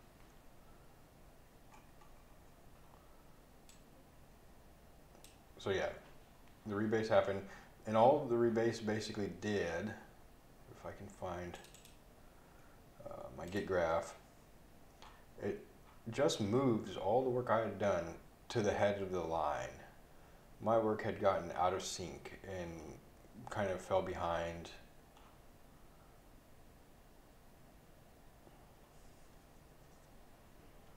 Let's see, where's develop? Well, I guess it just fell behind this. this.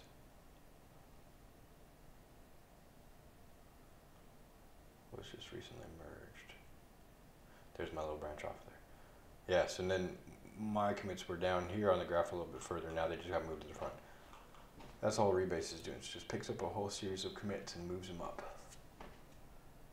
Um, basically applies them on top of the, the tip of the branch that you're rebasing into it, into your branch. All right, so we're good to go. If you need to refer to that, um, it's on dev2, dev.to, full git rebase flow for a busy remote.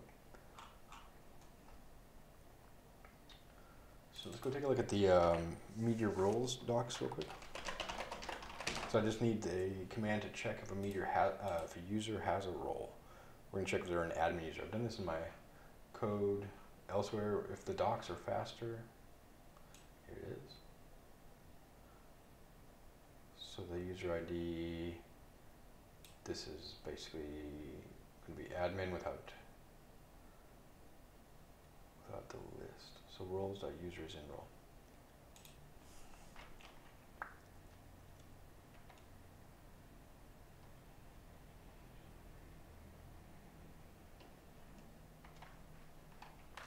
Uh, so I'm gonna let, so basically we're gonna, here's my idea. So let, what is this called, selector?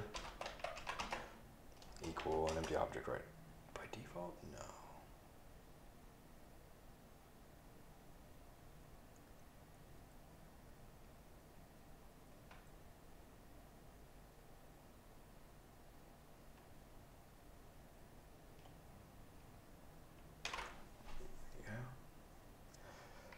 Secure by default, but basically if I pass in an empty selector, it's gonna return everything. I'm gonna use this selector here.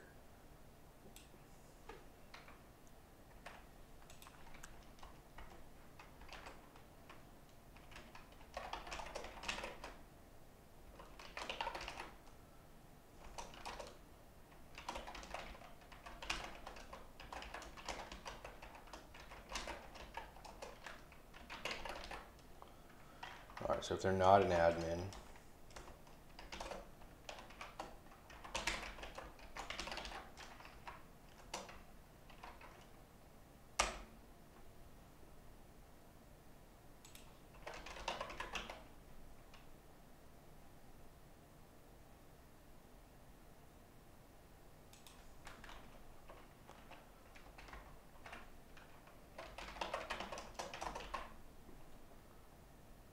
then we'll do this. Stuff. So get the residency IDs and use them in the selector. So resident uh, residency, because visible residency IDs. Residencies are tied to residents. Uh, I'm kind of tired to go into it right now, so I apologize to uh, viewers who haven't seen the previous series. But basically, people live in homes uh, in this care community, and the time, the period in which they're in the home is called a residency. We're trying to just use really common sense, common words in our data model. And so what we're trying to do is say that only certain users should see certain residents. In order to do that, we have to go through this kind of like meta thing, this residency. Uh, but cool, so we've got that. Let's see if that even just works right off the bat. Um, these names are not showing because the subscription's not working. This is a server-side change, and my app's not running.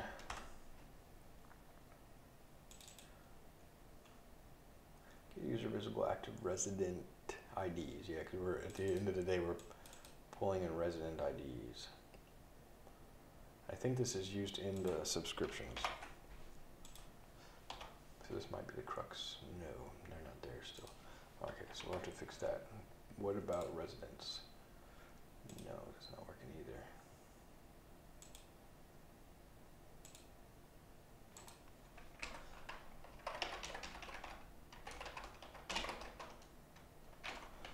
that this is, um, the code path is even touching this method right here. So if I refresh this now, yep. Not used here, so I have to start with the client and work my way in, but I believe this is the pattern to follow.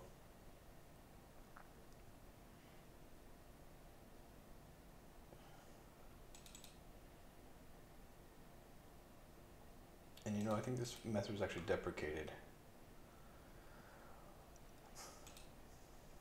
So I hope when I rebased, I didn't like uh, leave in a deprecated method. The reason being, uh, an active resident is somebody who lives in a house currently, has no move out date, and we move that to a parameter or an argument. Move out, uh, being departed. So let's just trace this back. It's not too hard to fix if that's the case, but it does mean it is a regression. Hello and welcome to any new viewers here. Uh, I'm open to conversation. Uh, if you have any questions, you can feel free to ask me anything about generally web development, open source development type stuff, uh, the purpose of this project, or other topics. If you'd like to participate in the code uh, session, you can highlight a line of code by using the exclamation highlight and a line number, and then adding a comment there. So exclamation highlight, number 109, there's the departed.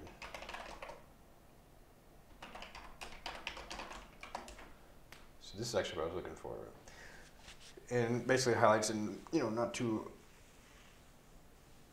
bad of color or whatever, for lack of a better word, and draws my attention to it. So yeah, get user visible residence. I believe this method is not even used. Let me, so just kind of delete it. And what I will do is just move this selector logic over there, and that might just fix these two bugs. trying to reuse code as much as possible. So there's common code paths. There's get user visible active residence. So yeah, it's only defined, never called. Okay, so maybe I forgot to clean that up, or when I rebased it, it came back. The cat came back. So essentially,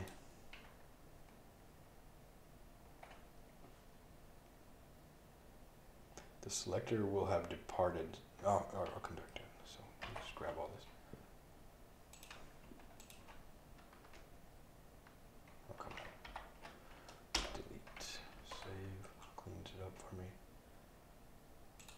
The sidebar.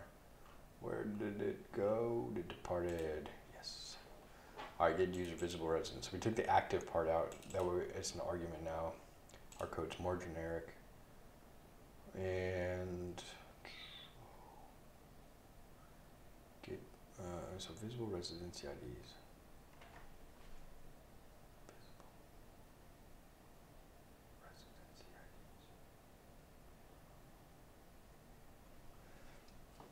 This is a little tricky.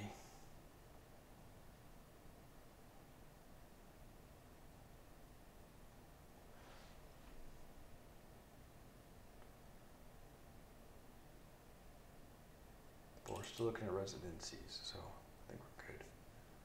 Let's find that. So I have this code in my clipboard. Use visible resident. Oh, that's nice. I didn't have to use my clipboard. And it just sees that it's highlighted and Okay, great. Here's, okay, so where it's called, so there's residence. Where it's defined as residency, so we're trying to keep things a little bit organized. But it's quick to get un or disorganized, so.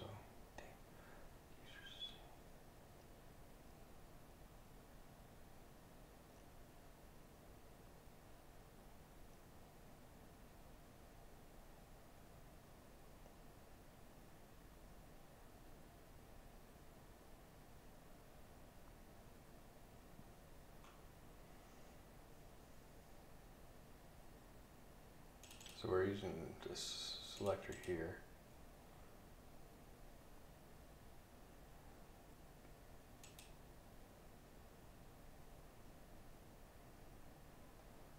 Alright, and here's basically where we'll follow this pattern. Let me just plot my code down. We'll call it selector.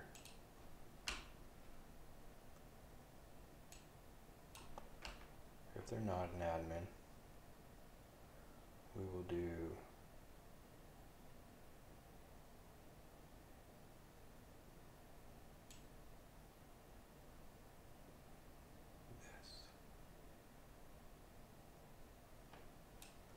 pretty much.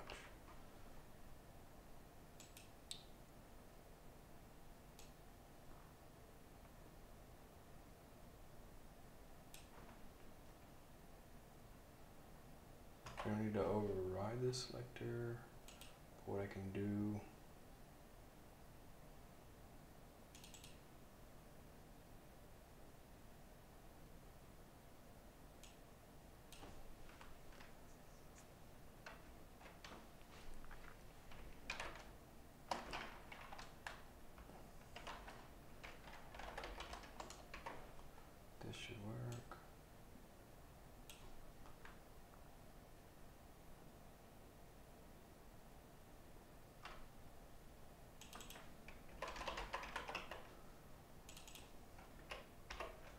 ID equals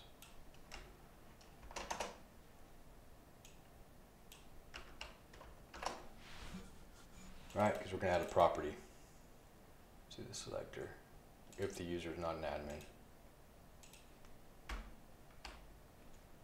So this is all the previous stuff. You just if they're not an admin, then they're subject to specific role-based or group-based access controls. So that's doing that, and ultimately it's getting the homes that are in the same groups. That's the the focal point or the crux of this uh, ACL system is these groups that group users and homes together both. Yeah.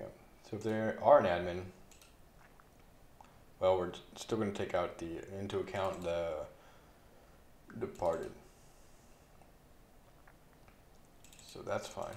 And this this is now called selector.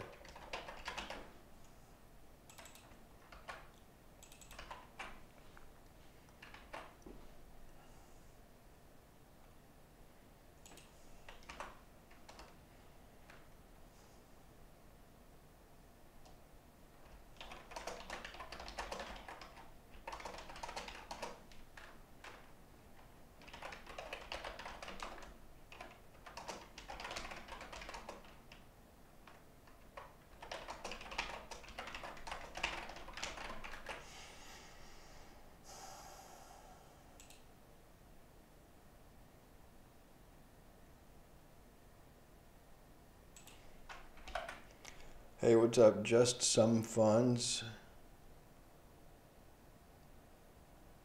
Oh yeah, uh, right. Uh, so I can just do selector home ID equals an empty object. In which case, uh, let's see. Here, or you mean here? at the top. That's right. But if we don't um, filter by that, I, I don't think we need it. No, here? So you want me to use selector home ID equals like this? Yeah. And remember, if you would try, you can highlight a line of code with exclamation highlights, space the line number. 72. So that, that actually would save us a little bit of confusion there. And then you can add an optional comment. So like, if I remove that one. For some reason my thing is bugging today. Normally you can remove these comments too. Oh, when I, when I haven't saved the file, but as soon as I save it, it cleans them up. Cool, got it. All right, yeah, so the option is uh, highlight 72, then like, you could do this.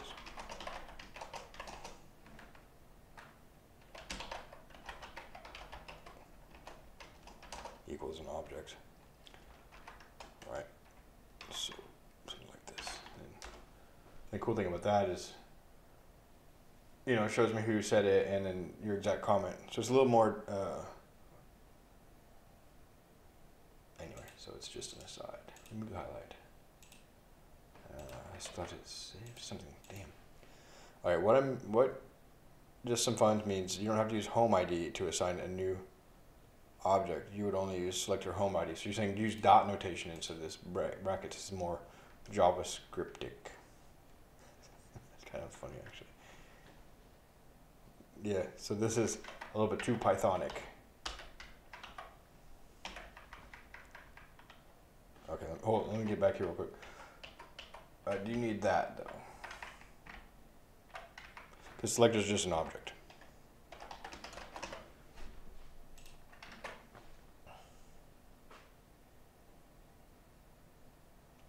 What is the downfall of using this square brackets? Or what's the uh, side effect or the difference? I didn't know there was a significant difference. Is it just uh, like stylistic, or is there some kind of? Because in Python there is a difference, like with Python dicts, you grab keys with this notation, but then Python objects can have attributes that you use dot notation. Does JavaScript have some preference or some? Because I can, in any case, these two should be consistent how I'm doing it. So if I'm using dot notation here, I should use dot notation here.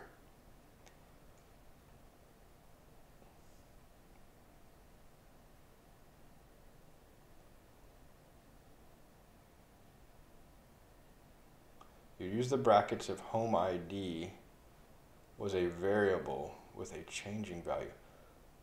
So it's kind of like more like let or something. So if I do this,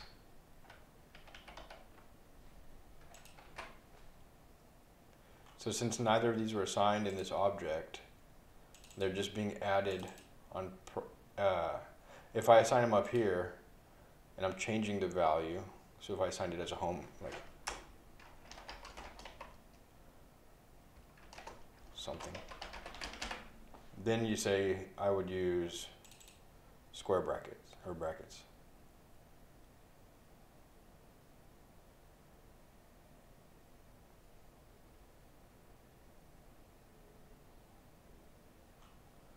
like this inside the object because I'm not assigning directly var. These are properties of the selector object.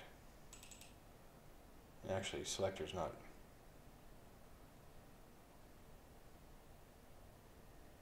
Reference to selector is not changing here. Just, uh, I think I can use const.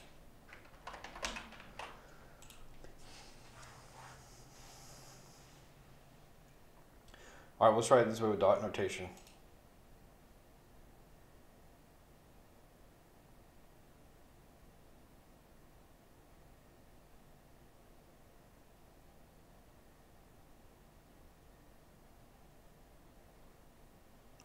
So var home ID equals dynamic value. So this one right here.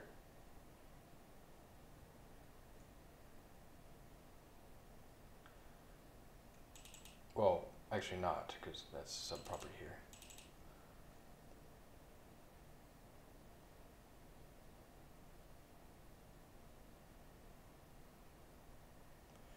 I'm kind of confused by the comments, but I'll just see if this works. Five. Oh, dang.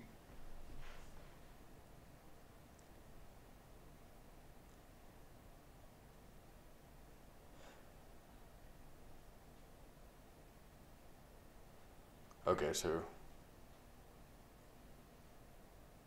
yeah, I don't mind typing a little bit more, so that's not an issue. But if it's if there's some kind of uh, about the value that changes, and I'm, I'm sort of explicitly telling myself this is like a static value, so to speak, uh, then I'm for it.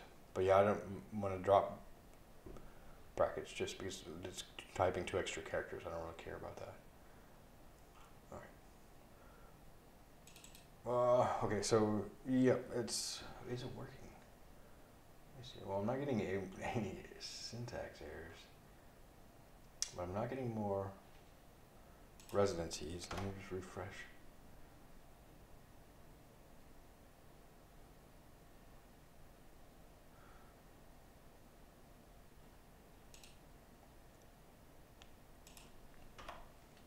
I'm not getting any activities now. Dang it. So I think something messed up in my rebase. trace it.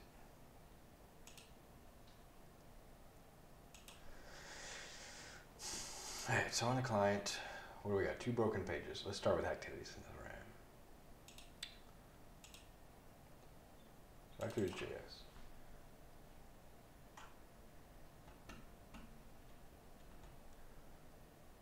Current user visible residence and current user visible home. Let's check out this current user visible residence uh, publication. Subscribe, subscribe, subscribe, subscribe. And at some point I was using this. Damn it.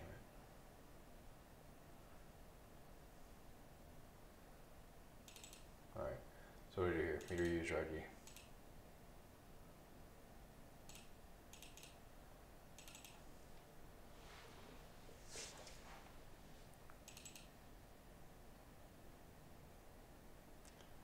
Current user visible residence. Well, this one I just, I can side track this whole thing real quick.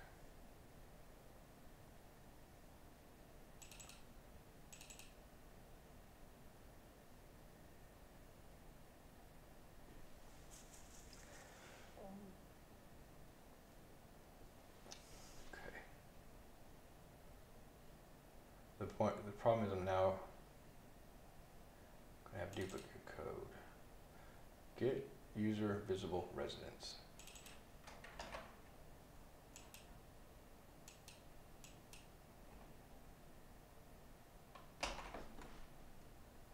Resident IDs.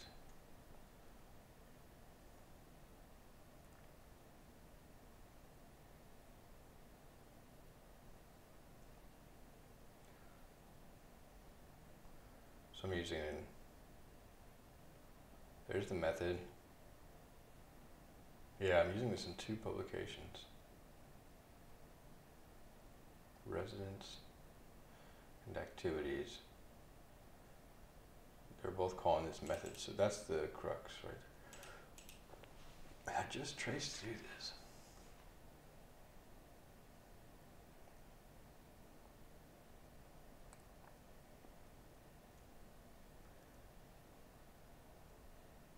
Yeah, just some funds. If you have any suggestions on how I could simplify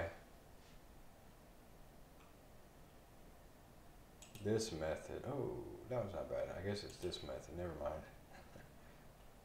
well, I'm not working on this one, but it's quite long and there's a lot of branches. Damn. Doesn't names group by homes. Okay, so this one's straightforward enough. Just here, visible residency IDs. It's got to be coming up here.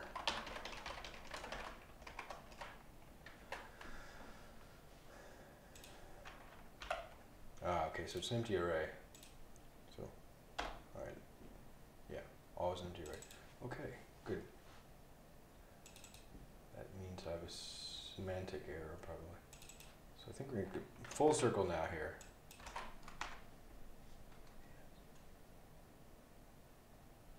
Methods. That means that it boils down to one place in my code where I've got to do this. Oh! That's why.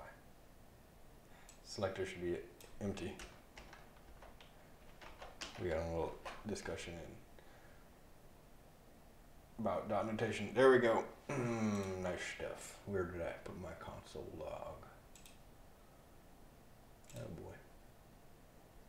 There we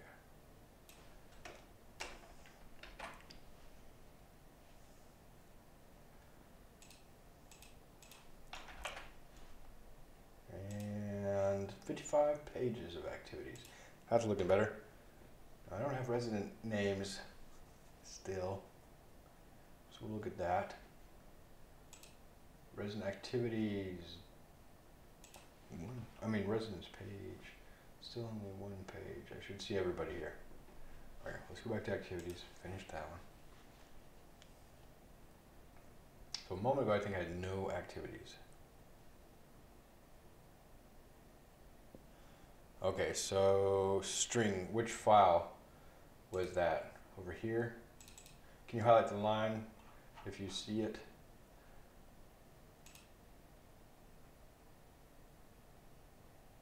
Or was it here? This one? No. 51.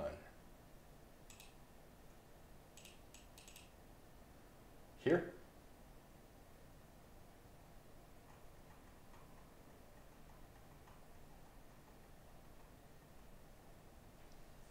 Because this is correct.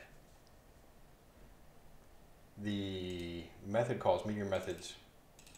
You give it a name of a method. So that's just a convention. Or that's this, the way this works. No.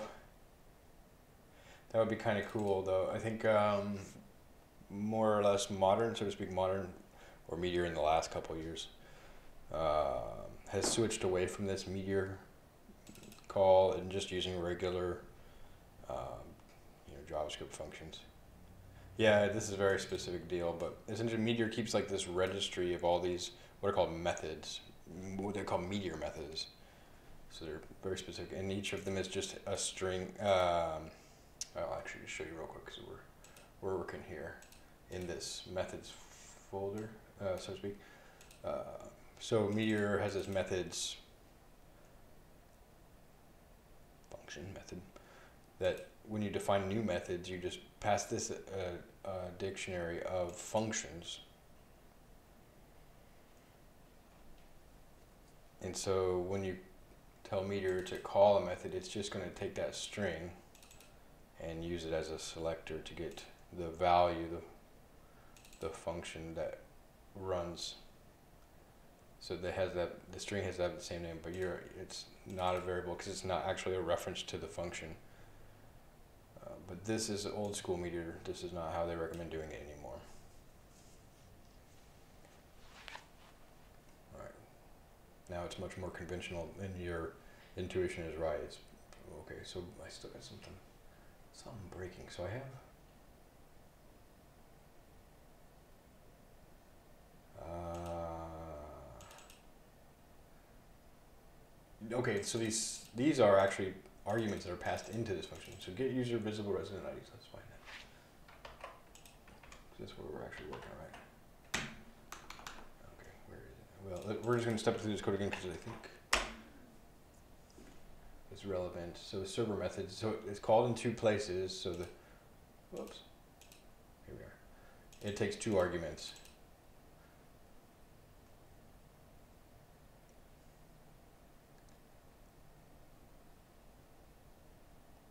Yeah, again, this is just not a reference. It's it's just. Uh, oh. This is not a reference to anything. It's just a string that Meteor uses internally to find this. Yeah, yeah, cool. So somewhere along the line, everything is breaking down. So my activities page is using this method here and this method relies in turn on this get visible residence ID. So let me kind of put these from left to right. Activities goes here. And then residence also goes there. So in fact, both of these point here. And then this goes down here to get visible residency IDs. Alright. So if the user is admin, let's just check that out.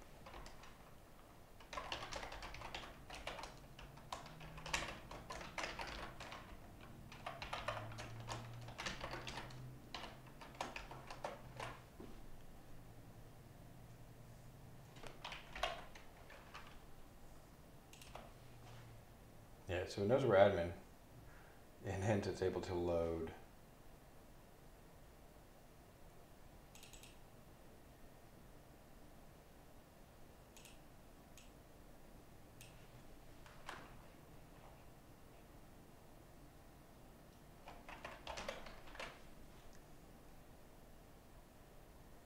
So then in the case where the user is not an admin, they'd only see 13 pages. So this is working. Um, what's not working is the resident names. We're not coming to the template here. So let me just take a look at that.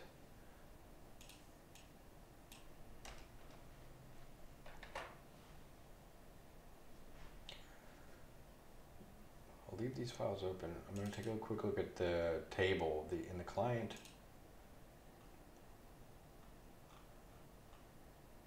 Views, activities, HTML, let's just start here real quick. We're rendering a reactive table, all user visible. Uh,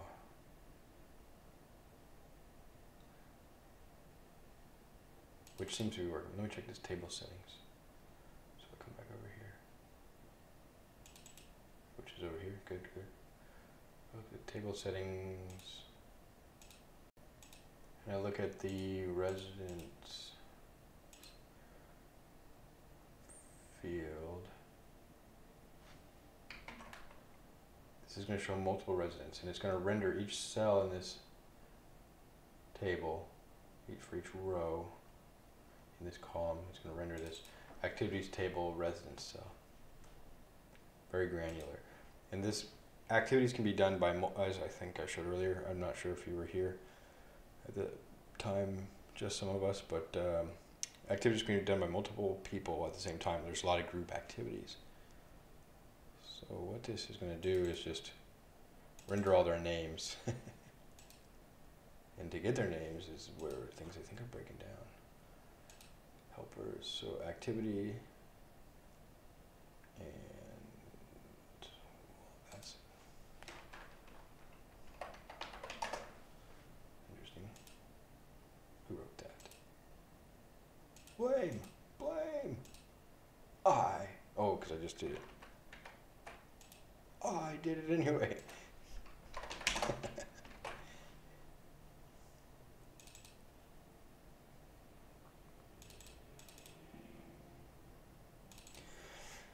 okay, this might be where we're breaking down because if the data aren't actually in the client, then it's not going to be able to find one resident with that resident ID. So that could be part of it. So let's check the subscription out. Ooh, that's a good one. Can I read full name of undefined? So this is returning undefined. Yeah, I should have opened this earlier, much earlier. If I look at my uh, Minimongo residence, zero. Okay, so to fix this, it's like two birds with one egg type thing. The activities page is not working, and the residence page is not working, or it's not showing all the residents for probably the similar underlying issue. But now we have 22 residents and only one page. So this has something to do with the paginated collection. We're getting close. This is a non-trivial thing. This app is starting to get really complicated, but that's the fun of it. Our system is growing. We're getting more residents, getting more staff, more homes. It's actually in use in the real world. This is a feature that was requested by our principal um, client.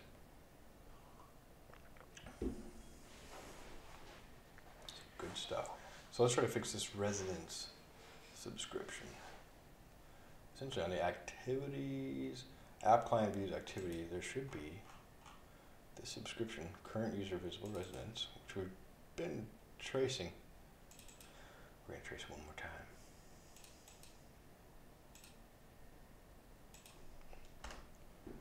Where is the publish?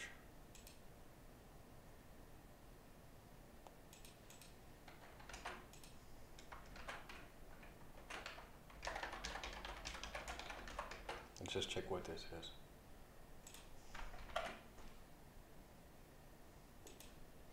Yes, it's empty array. So there we go. That's why nobody's showing up because they're not making it as a client. That is one of the really brilliant things about Meteor, though. This idea of um, publish and subscribe. That's what makes it reactive. When data changes on the server, it can, in most cases, just be pushed directly to the client in the exact context uh, that resolves a query. So only documents that changed that are being subscribed to uh, that match the query uh, will get pushed to the client. And essentially what's happening here is nothing is matching. So get user visible, resident IDs, still has a problem. So let's find that.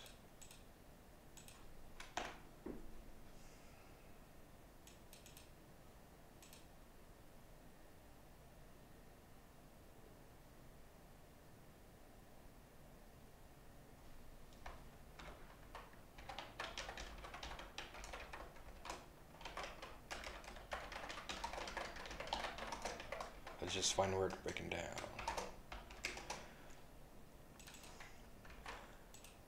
Unfortunately, I'm still you know, just console logging to debug. You know, I don't really know how to quite. Uh, okay, that part is working. If I could put these breakpoints in this Meteor app, I would really like that, but I'm, it just doesn't seem to work. So this part is working. Visible resident residency IDs is working.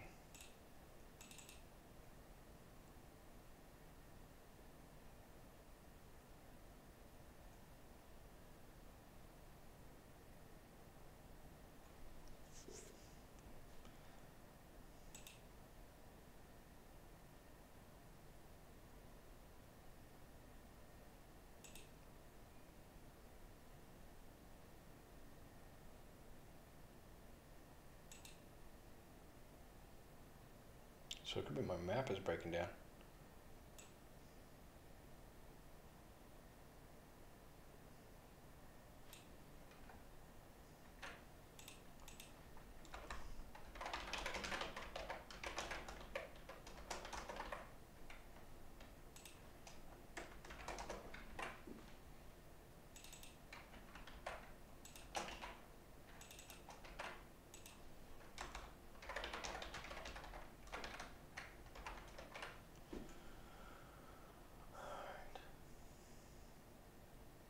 Visual residency IDs is now not working.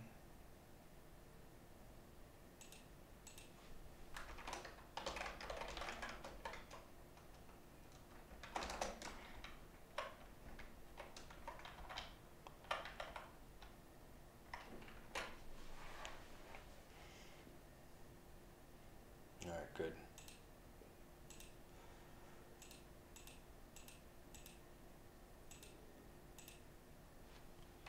So now I know we can move a little bit closer in. More full circle. I'm tracing my tail here.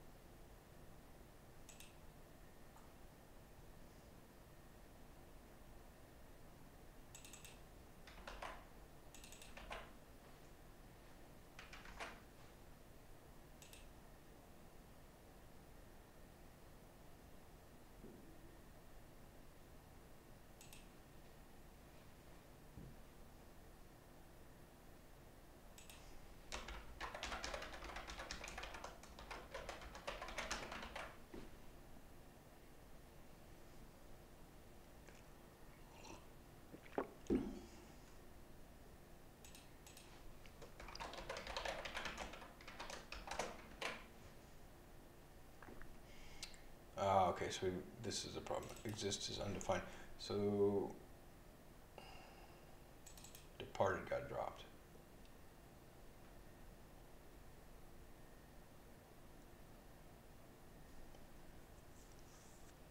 Alright.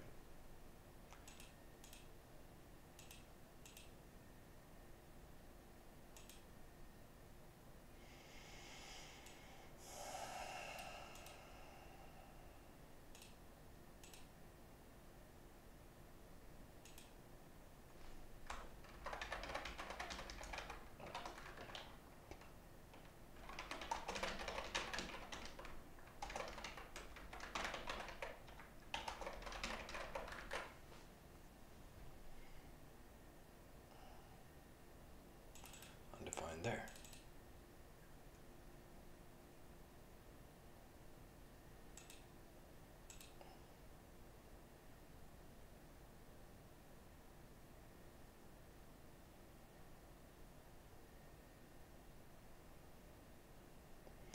Which is fine. It can be undepart. Uh, sorry. It is okay if departed is undefined. So that's actually the problem is that it's getting into this.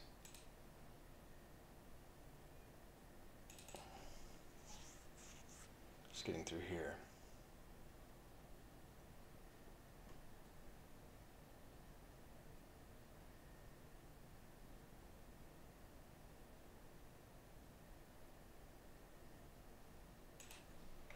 I mean, it's the same thing.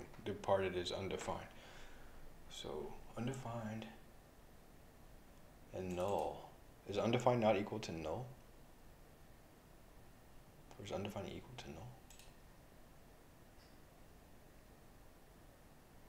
I better do this in Meteor Shell.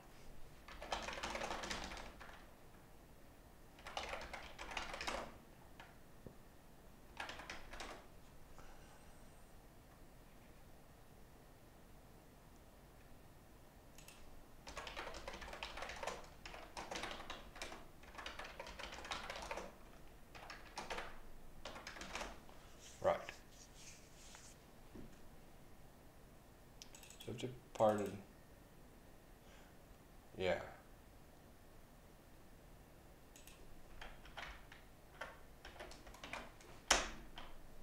Yeah.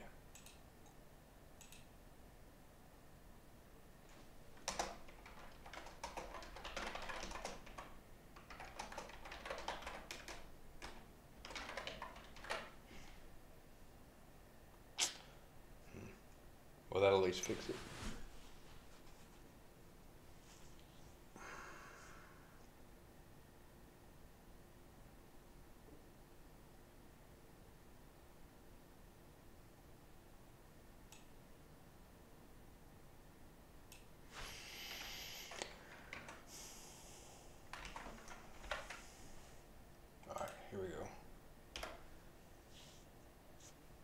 Working. So yeah, my understanding, and this is a confusing part of JavaScript, and also how data are passed from client to server in Meteor uh, when the value is not available. Okay, is there a more concise way of saying this? Yeah, I don't need an or because it's got to be.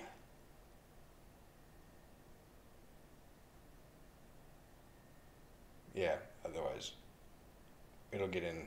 It's got to be and both of these cases. Is there a. Can I say departed not equals false, or if just if departed? These are both falsy, right?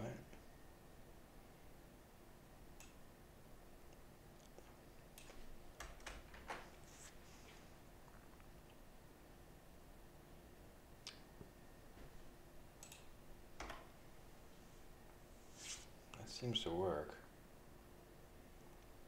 I don't remember why I did the null thing before. Okay, cool. And that's cleaner. I like it. It's readable. Yeah. If departed. Okay, cool. Yeah, so basically, so we got 135 pages. Things are working here.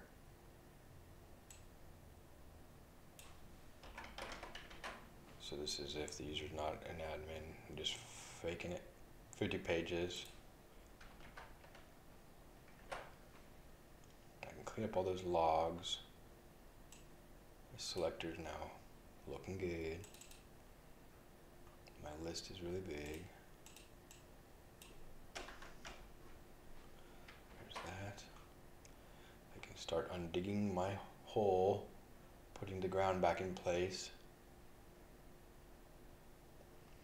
Okay, so everything else is a code look. Yeah, I just want to know that the departed is true, and both null and undefined return false. Okay, cool. So both of those are falsy values. Yeah, so this works good. Is there anything else? In uh, any readability improvements here?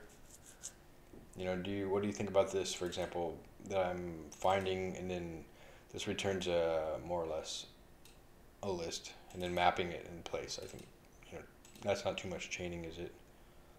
Uh, then the other thing is I move this to have its own variable and then I return this variable. Should I just go back to the, should I just go back to this? Residence find map. How many lines do you think is permissible after the return statement? I've seen some code where there's, you know, a dozen lines there and I believe that's crossing the threshold. But this might be permissible. Yeah, all right, cool. And it does, it's just a one liner that way. Nice. Okay, so moving back, putting, putting the earth back in place, piling up the stones, the foundations. So now we don't really need to hopefully look too much at this reactive table. Right, yeah, I'm just not using that later in the code, that's correct. But I've seen some funky business with, you know, maps and filters uh, sometimes even multiple mapper filter, mul- like chaining a bunch of stuff on a return statement. I, I don't. Uh, I think that some threshold, then just keep it in a variable, even if you just return that variable name. Console log. Cleaning that up.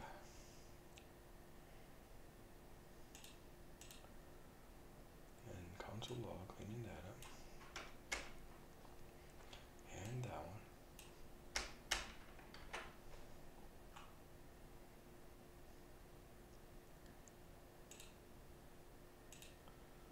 Not sure if I did anything here. No, I was just reading through this. I think it linted it when I saved, which is cool.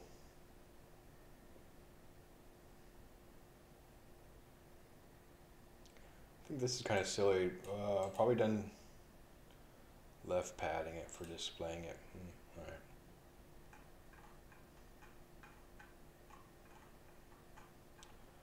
there a cleaner way to put to concatenate a list of strings with white space in the middle? Like if I these are if I return these, hmm, these go straight to the template.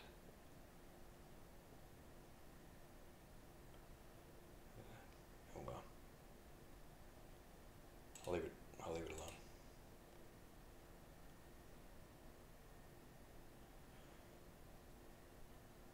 Okay, quick way to tell if a value is false or true. You just do not not or not not null. Bang bang null.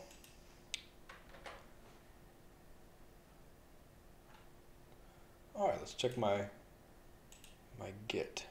Bang bang. Not not.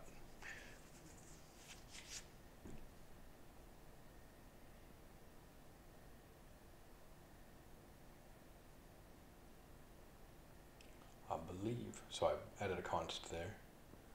And there's probably some lint going on here. Yep, space, and then turn these to double quotes. That's cool.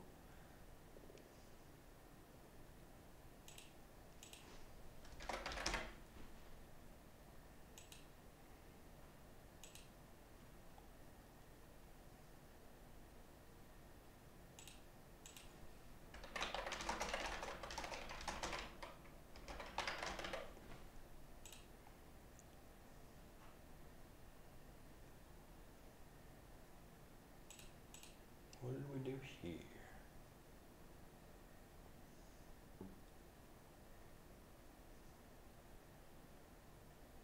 I can probably revert. I think I was console logging it.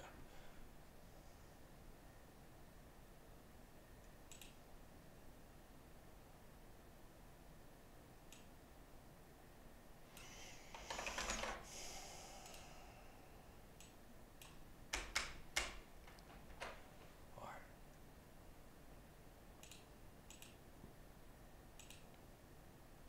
Huh. Oh yeah, and then I cleaned that up because that was unused function. Why does it have all these green ticks? What's going on here? Yellow ticks? Oh, these are the function complexity. That's right. I like that plugin. I wish I had some concrete ways of simplifying some of these plugins, uh, some of these functions. Just not chaining so much, maybe. I don't know. Breaking it down to smaller parts, but I think uh, come back to it another day. This was just clean up.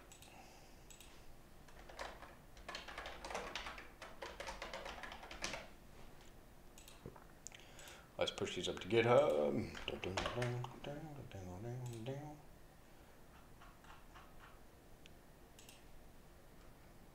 Yeah, two minutes ago.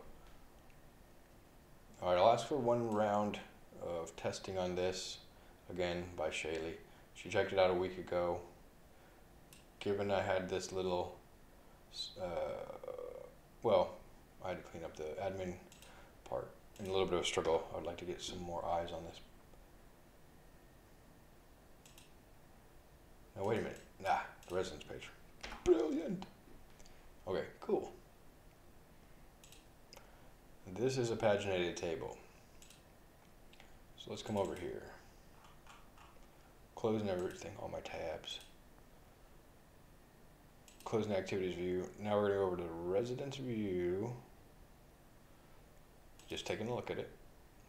It's a reactive table right here. And it's just going straight against the residencies collection. I still have something in my console. I mean, maybe not. No, I'm way down here.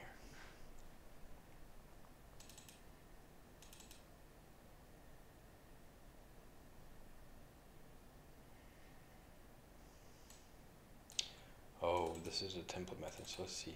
Residencies. Convert helper called residencies.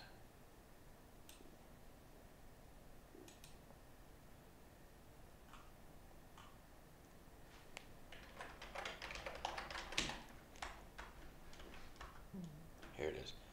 Okay, so that's actually not a collection. That's a function that's running in the template context. And yeah, if I check, if I take a look here at my subscription, I think I have all the data. So let me double check. If we go to Minimongo, yeah, I got 54 residents, which I believe is what's in my dummy data. Uh, just I only have one page here, and I think it's just there's some redundancy. But that's funny. Let me check my residencies. Ah, there's only five residencies, so there we go. Again, this is that meta. This is a complicated feature, but it's really important because otherwise people get overwhelmed by seeing too much information. They see too many residents when maybe they're only in charge of like 15 people, five people. And in our case, the system where we have this deployed has over a thousand residents, uh, something along that lines. Okay, so how are we getting the residencies? All homes. Here we go.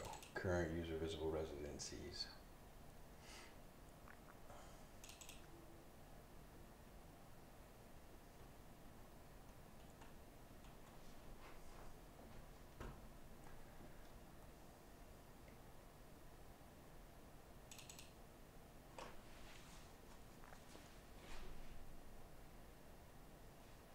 Yeah, I really don't need to. Here's a little thing I can clean up a little bit. Here I'm doing an explicit null to avoid that whole unde- undefined situation. But since I'm in an auto run function, really the only thing that needs to change, the only difference between these two branching statements is what I'm doing to departed. So I'll move those out.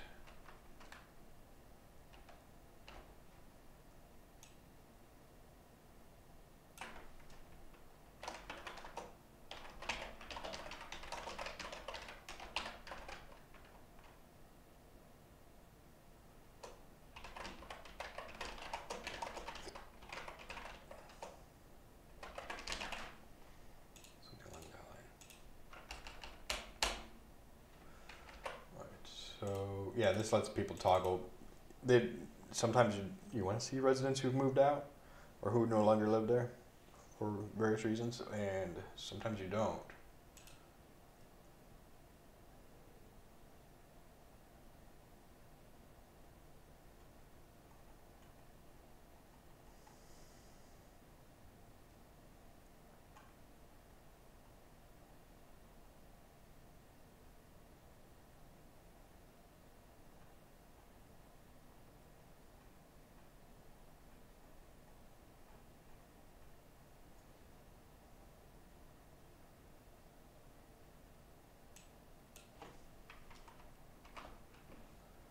I'm wondering if I need that else statement now.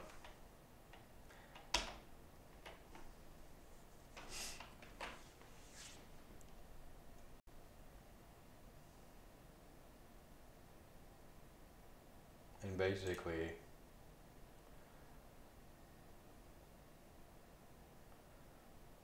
I could do this. This is not a run function. If you're in TTION,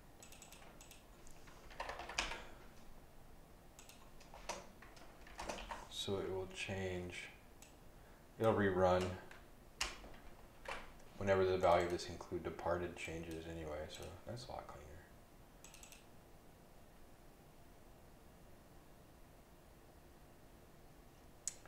Oh, oh, oh, oh, oh, oh, wait a minute.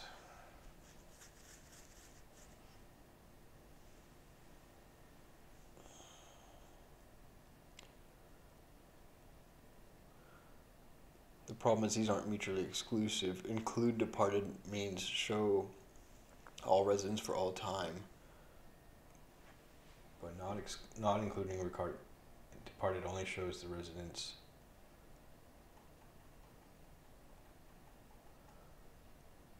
who don't have a move out date. I th- This code is a lot cleaner here, but I don't think it's going to work. I don't think it's semantically correct. It should be include departed.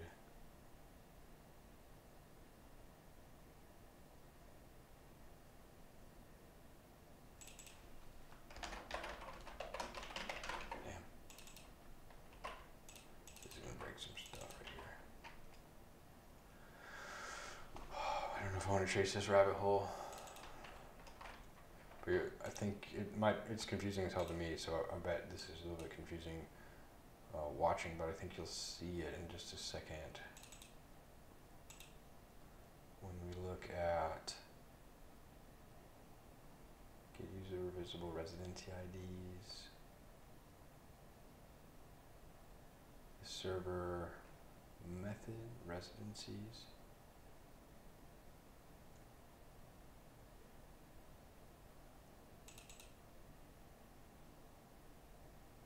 So here's where it's defined. It boils down to the Mongo cursor, as we were just looking at. If I change this to include departed,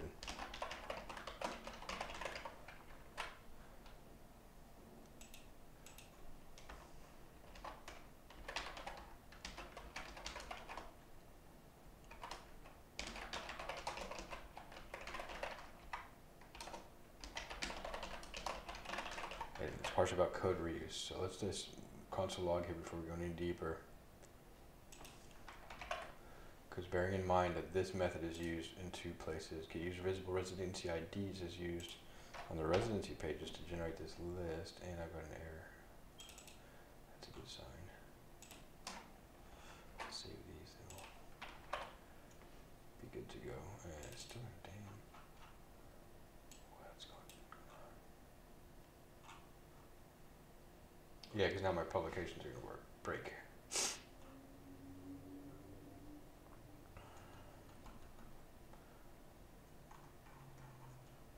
Because I'm spreading this part. Yep, I'm not gonna go down this uh, this null. I'm not gonna go down this rabbit hole.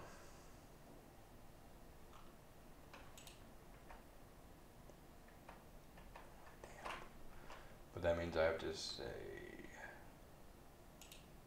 I have to do this funny little dance in the client.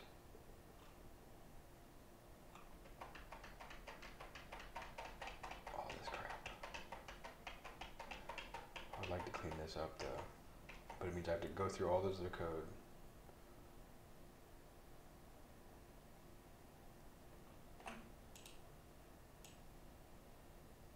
This is cool though.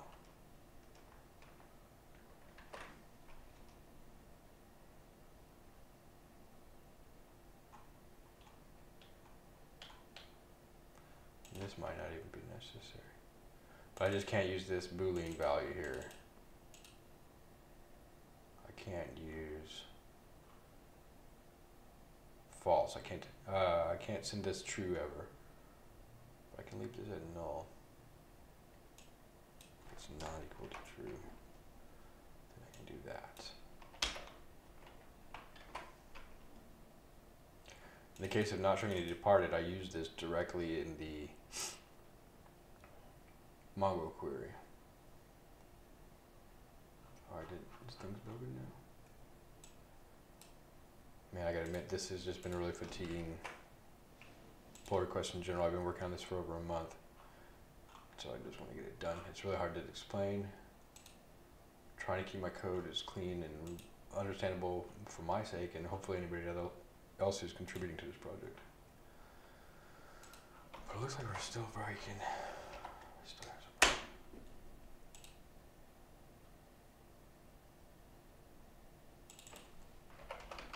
Basically, the problem is, oh shoot.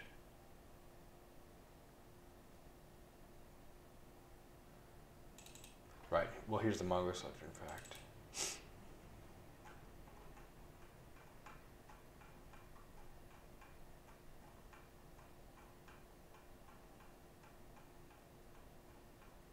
Because if included department departed is true, move out date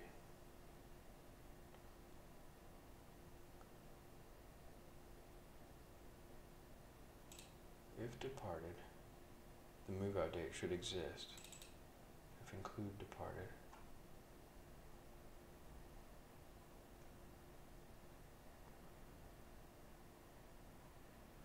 But that will filter out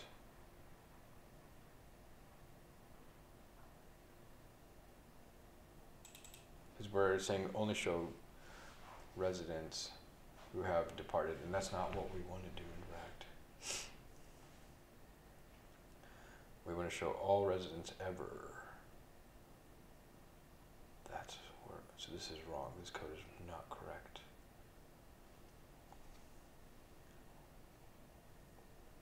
I basically need an or.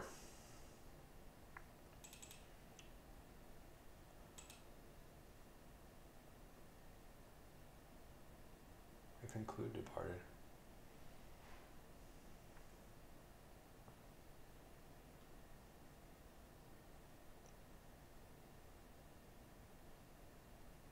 It's false.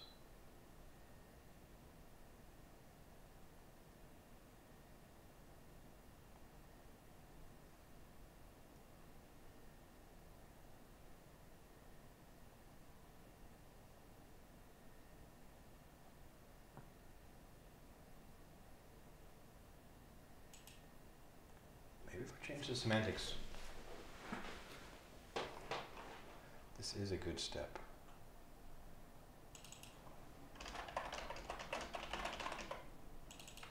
So if we don't want to include departed, then we want this to be true. We want them to have everything here. False. Don't include departed. Then we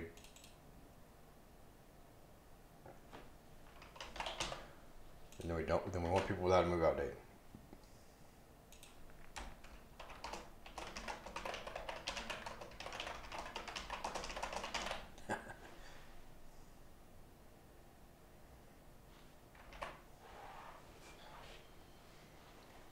Ouch. And then, otherwise, this is not. This selector is not going to have it.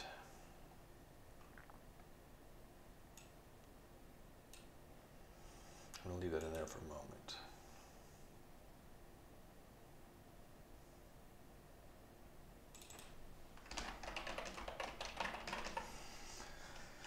Essentially. So this is actually I think a good thing I, I found this. This is a boolean toggle. So this will always pass a boolean value. If I look over here at the template maybe things are broken right now but basically things are broken now. Departed is not defined. So let me just step through this one line. Residence JS 15. There we go. Yes. Let's fix that real quick. Alright. There's this toggle button here that allows staff to look at all of the residents ever lived there. I'm just repeating this, but it's uh, just to help it sink in in my brain. so include departed means show me everybody who's ever lived here. And this means just show me people who live here now. Because generally, uh, staff are concerned with the people who live there now. In fact, I could probably get rid of this checkbox altogether, but I'm not going to do that. Because you can filter it as paginated, so I think it's not a big deal. Uh, it's just that there could be people with same first name, last initial, so there's maybe reasons why people want to ask this. Okay, but now we've got our semantics in, in check, and the code in the client is a little simpler.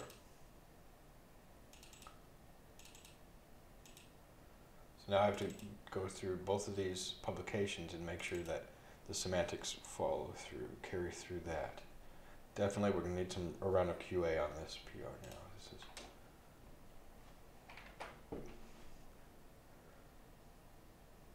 quite a lot of changes I've made since the last round of QA on this PR. Get all residents at all residencies.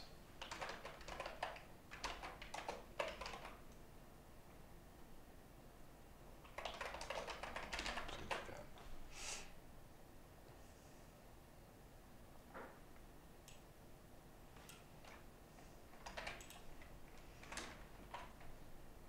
And residence.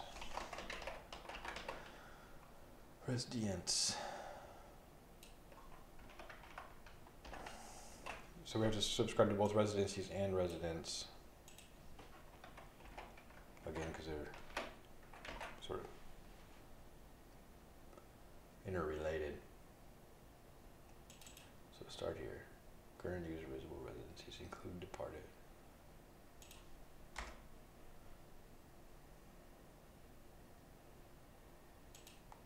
And that means this also needs to reflect include departed.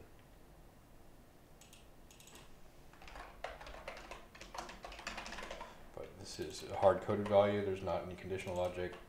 Want to be more semantic, so we got that. Subscribe, include departed, and the publish, include departed.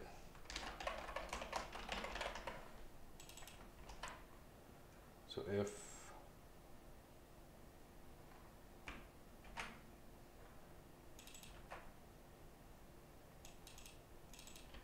implicitly departed in here. It boils down to this. If include departed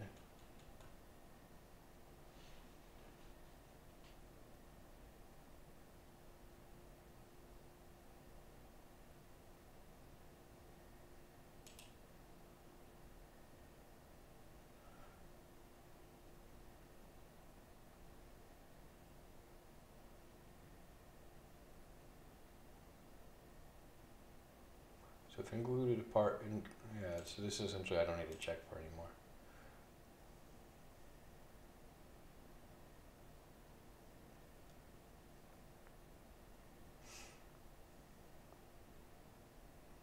If include departed,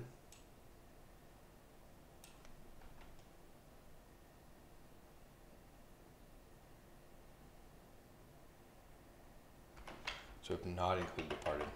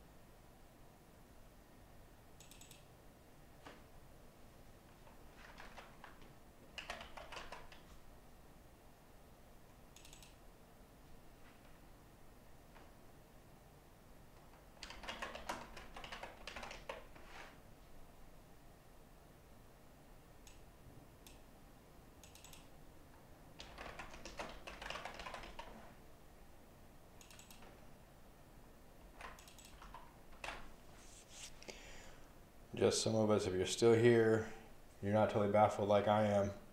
What do you, what do you think of this code? Is this alright, or should I do the approach earlier where I was defining the selector and just using the selector here? Like, what do you think of this spread approach? So essentially, the selector starts as an empty object. It's always going to have user visible home IDs. So it's always going to have this home ID and user visible home IDs. That's going to be there.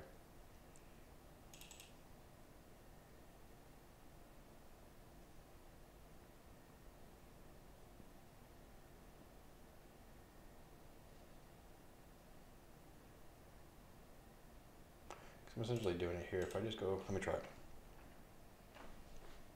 Why are we using user? Oh, I have to pass it in there.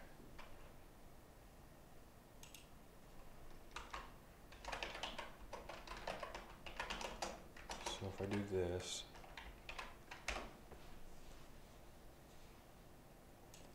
this is always going to be there.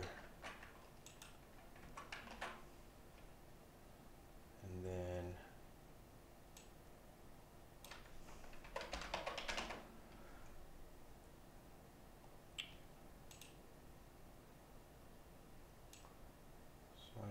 this.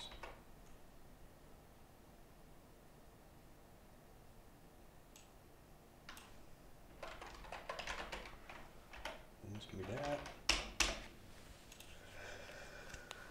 So don't include departed means they should not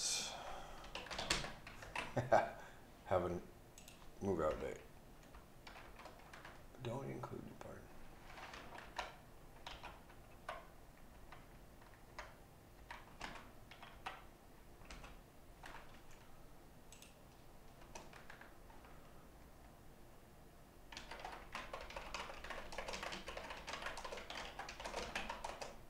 Should not have.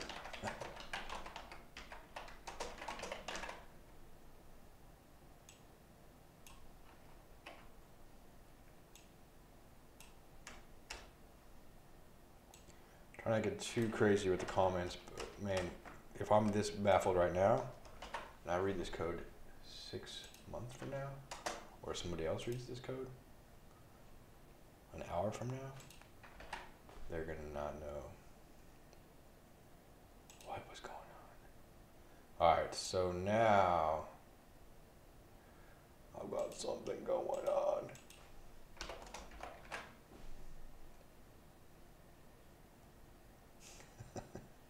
There we go.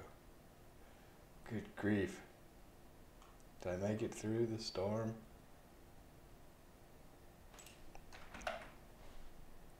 Alright, we got two pages. And three pages because we're including departed. And one page. Three pages, one page, three page, one page, three page, one page. Now I'm an admin though. I'm an admin user. Should have two pages here.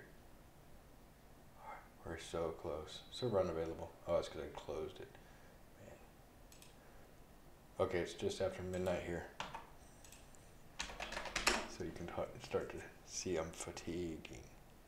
Hey, what's up? We have four use four viewers here. I am not drunk. I'm just slurring from fatigue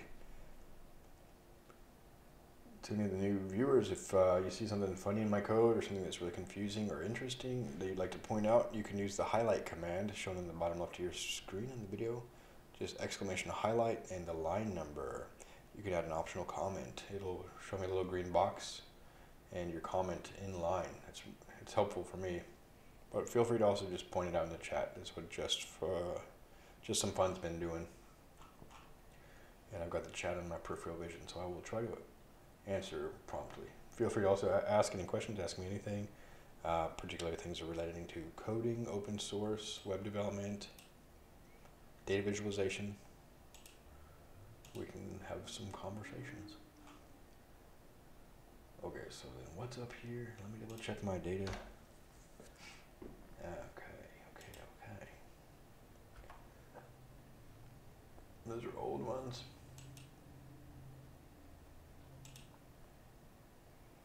So five residencies, 22 residents. So there's our mismatch there. There should be the same number basically, 22 residencies. Alright, and I think it's just because I, what I've done is essentially change the semantics of the code in a good way. This in, uh, include departed. So this is client views residents. So the residencies is not working. Resident. This not working quite right. But the residence does seem to be working correct.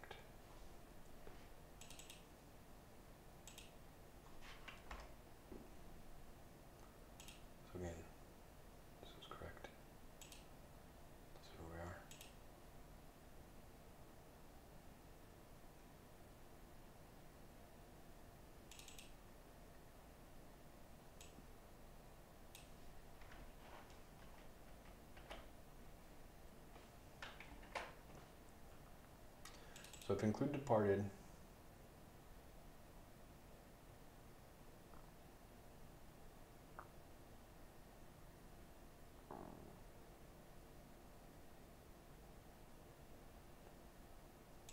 let me check this home visual home IDs.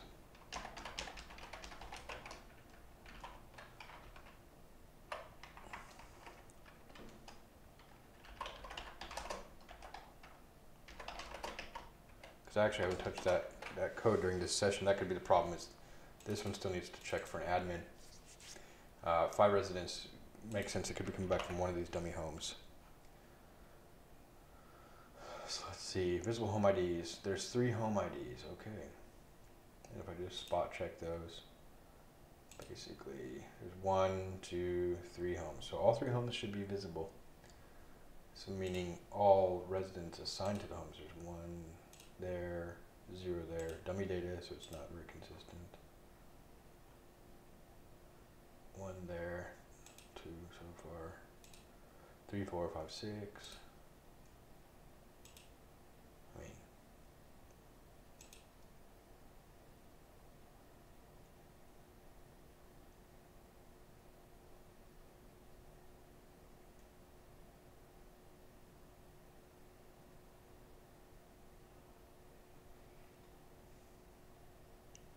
so this is correct.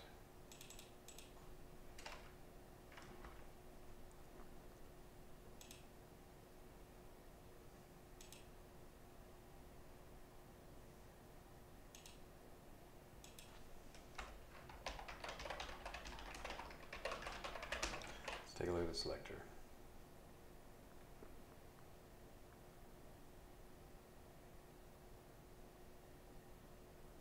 By the way, how's the activity form doing? So yeah, this is correct. This is showing. No, this is the same problem. We got all the homes, but only five residents.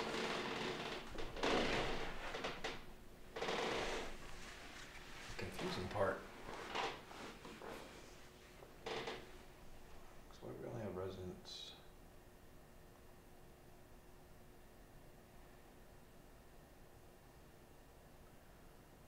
Oh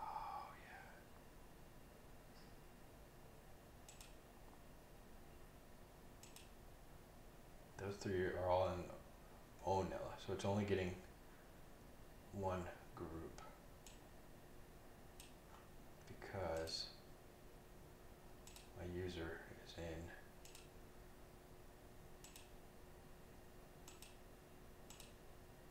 Oh no, great. Is this breaking down too? This is just refresh that a few times. Hard refresh. Doing it. Alright. Cache is cleared.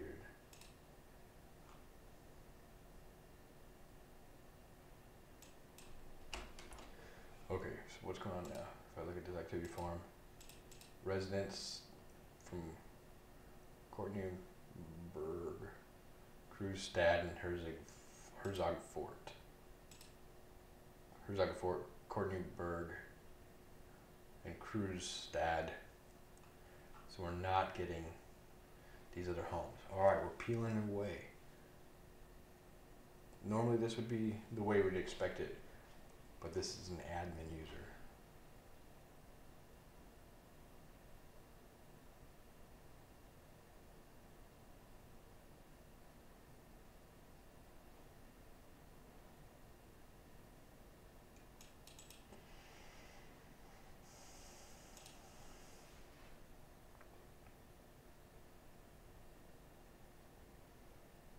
So all I have to do is just do a conditional here.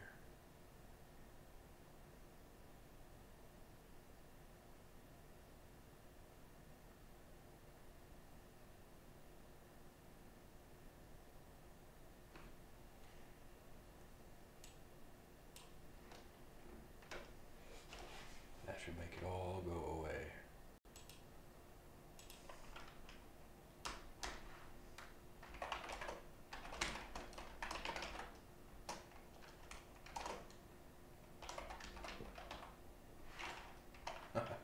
What?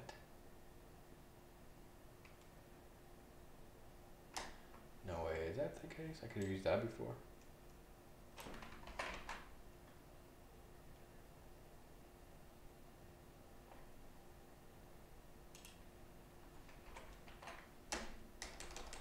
I don't see that there. User is in a role.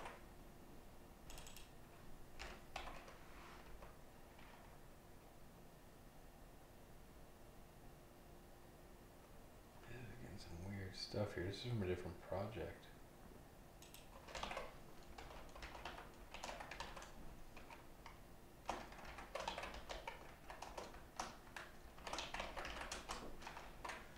Alright, now we're cooking. Mm, so yeah, we start here with an empty selector.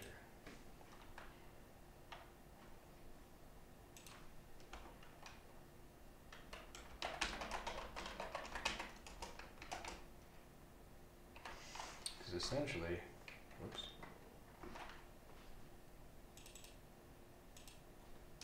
An admin user should see all residencies. So empty selector.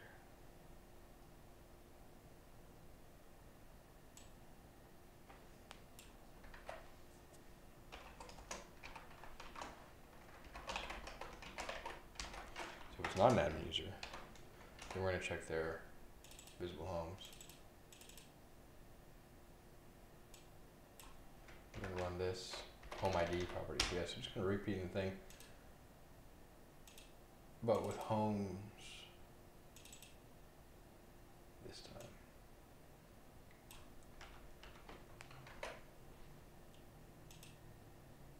Equals.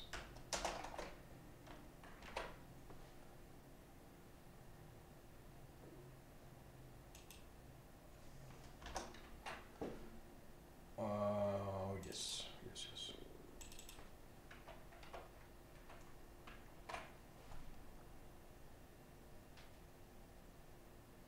I can share this code.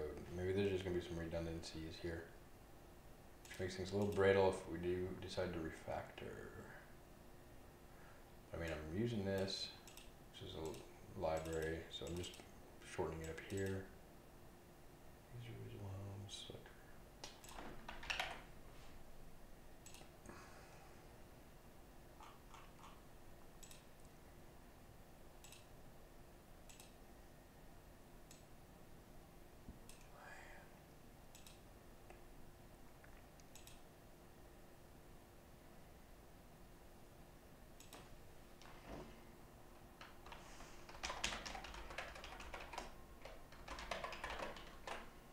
Oh wait. yeah, that's cool. This shouldn't be asking for anybody that's moved out.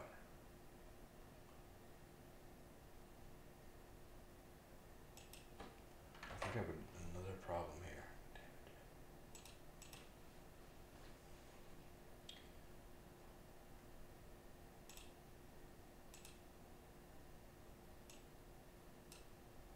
Is this form?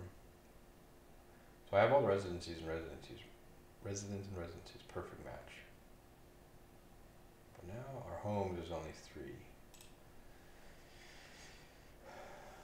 This is where like GraphQL I think would be handy.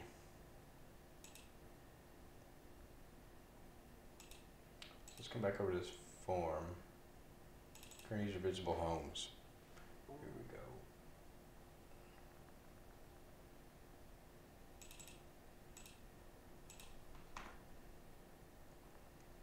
So this is using Current visible homes. They're subscribed, this is subscribed, this is subscribe. Let's check the public publication.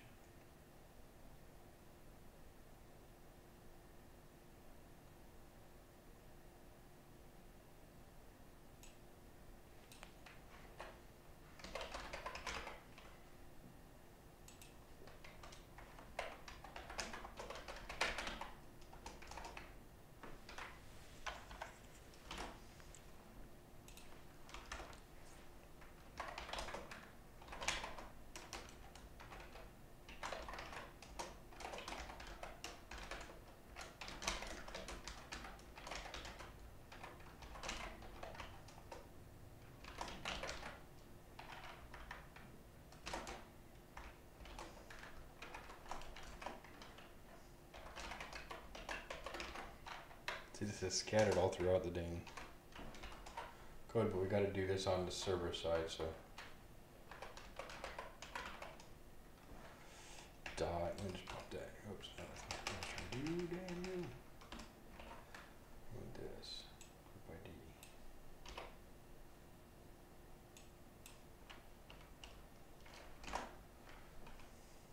It's up at the top, so user ID is closer to where we're using it.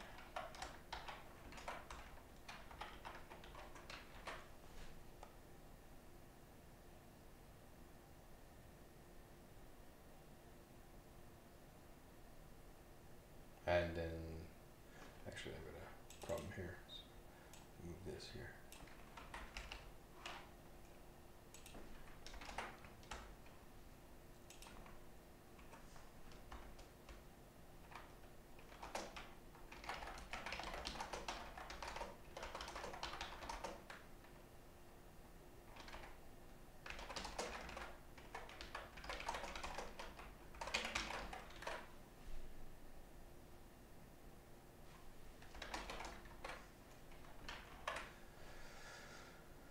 To assigned groups.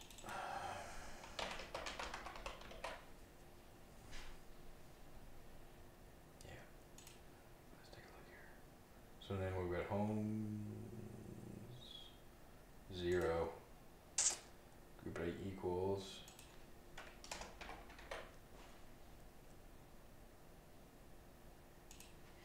Refresh it because now we had that thing. So we'll watch this homes when I open up the activity form. What's gonna happen? Nine homes. All of them and all the residents. Oh man, I think we did it, and this one just didn't have any residents because of the mock data. Now if we go to residents, three pages include departed, eight pages. This is starting to look good. I think we've gotten over the hill here. 55 resident yeah all the homes are here.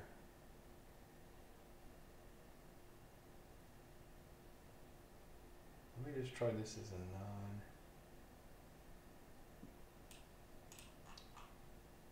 non. Admin user now to a certain extent I'm, I'm sharing this code because these are server side methods.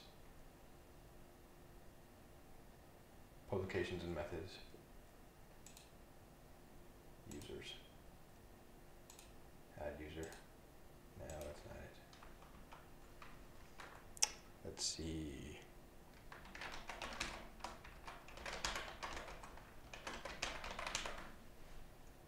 That's my super secret password.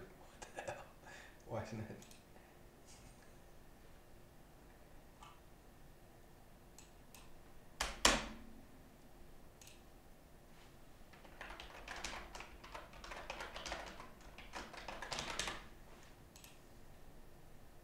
Gotta fix that. Activities, resident, mother. Oh, Shouldn't see anything here. Oh, I don't see anything here. So that's good. This is okay. But yeah, we shouldn't even see resident names here. Okay, getting closer. I'm gonna commit these changes. This is why we need the QA process. I'm just not flippantly uh, merging this. Which means that we might be hiring soon. Anybody on the chat who's interested in doing some QA work, we do have some developer hours available monthly, weekly, probably about 10 hours a week we can pay uh, for QA and development work. So I'll commit these and then I'll fix that last thing. And at this point, I need a little bit more tea. So I'm going to take a quick break, start some water on the boil, and uh, come back. But I won't be too long.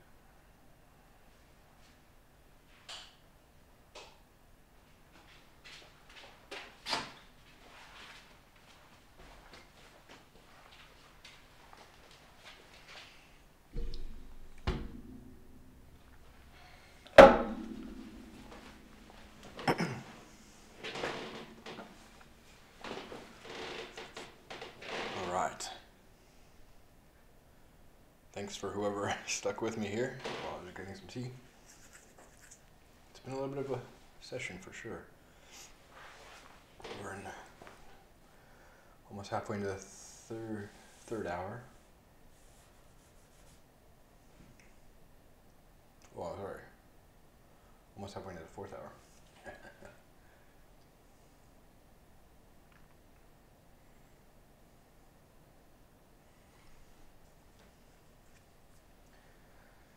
so let's just say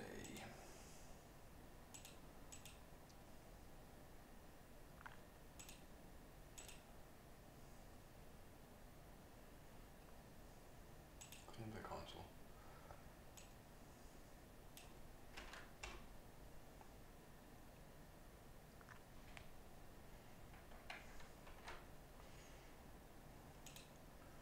Where's our selector printing?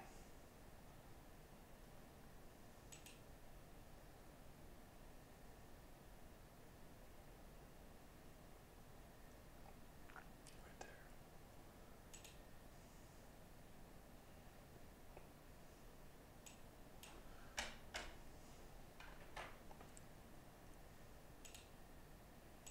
And This is one. This one's different.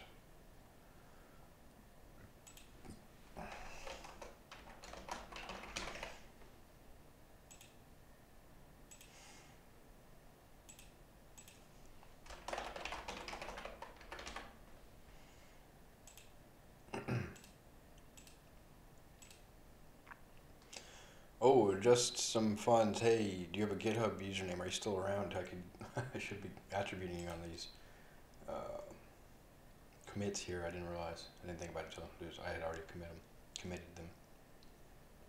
All right, I'm just gonna do a quick reboot of my brain. Boing, boing, boing, boing, boing. Cool. Oops. Yep, I do this a lot of work. I close out all my tabs, and then I s- I forget that I had saved unsaved work in one of those tabs. That's not the case here because it would not let me do that.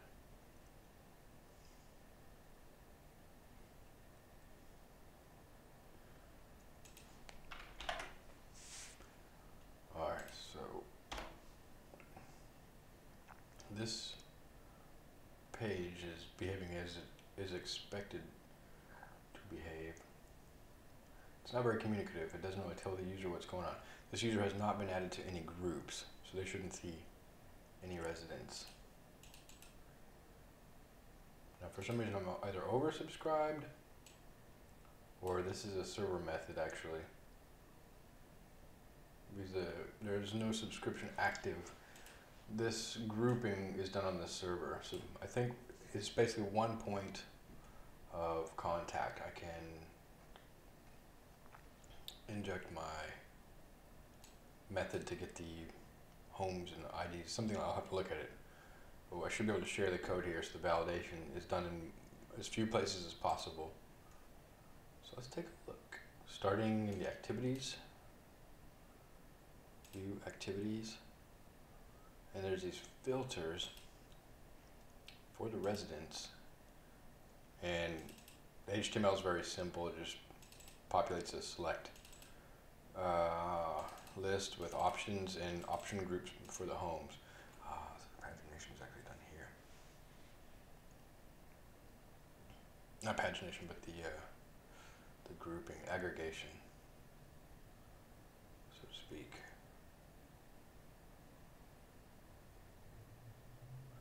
And this is pretty natural because it's rendering related code.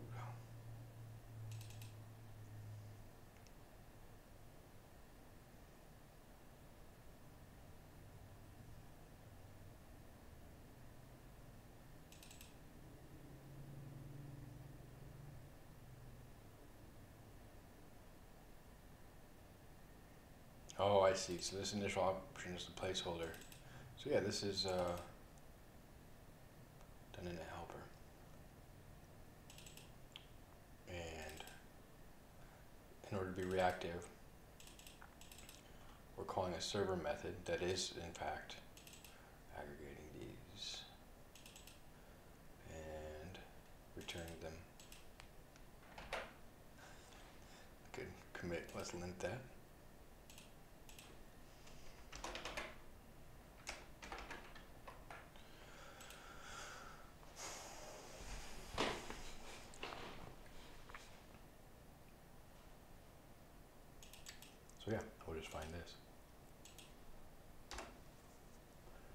So we're using it here and the template and we're using the same name in the helper, but here's where it's defined.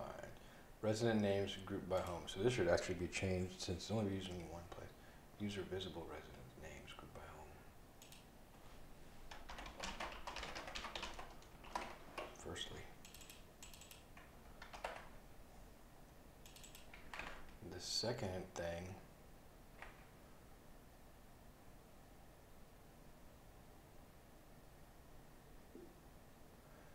There's no departed here, so that's good.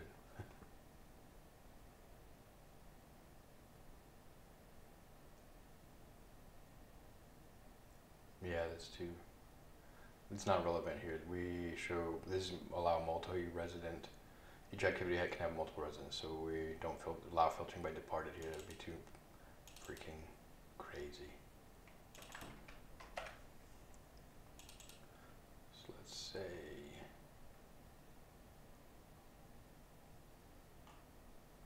This needs to change. User visible residents. By homes.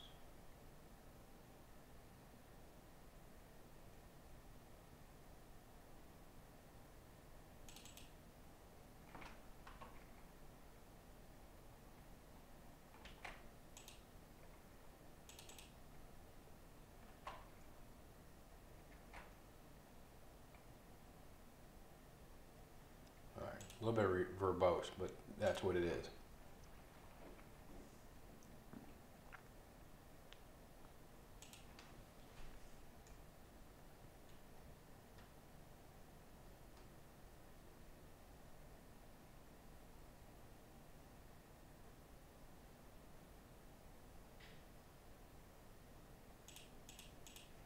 So we're essentially getting the home ID here anyway.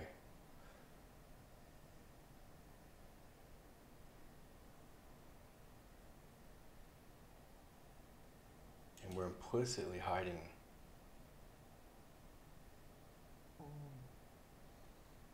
Departed residents. Do we want to do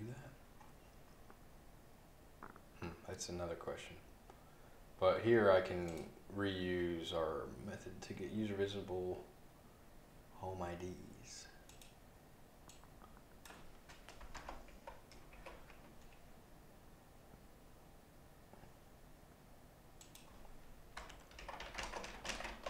So I need the user ID, don't I? I think it takes an argument.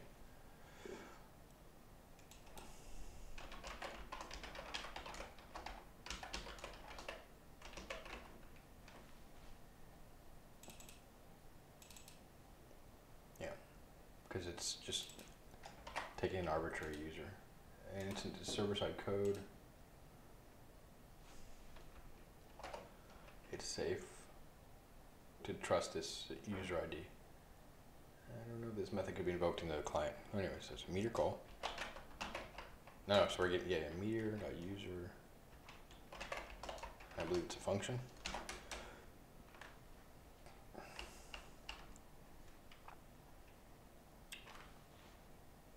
Mm, we want it sorted here, which makes sense. That's that's a little bit of a problem. All right, my tea's ready, so I'm just gonna have a glass of tea here.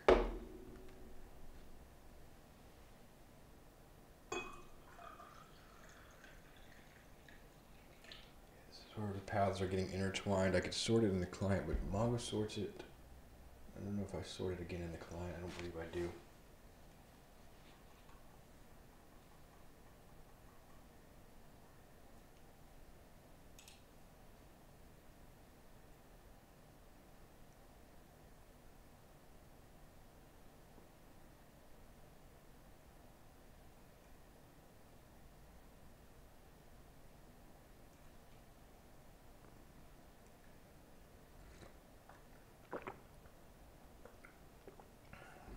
two types of tea in my cup green and chai tea. That's kind of a funny flavor.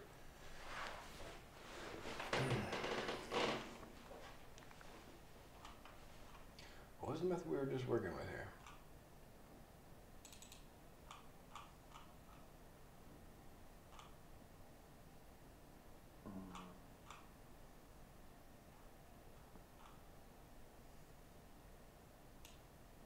Because this this is not familiar. It's not chicken for admin. Damn it. I think it was a publication.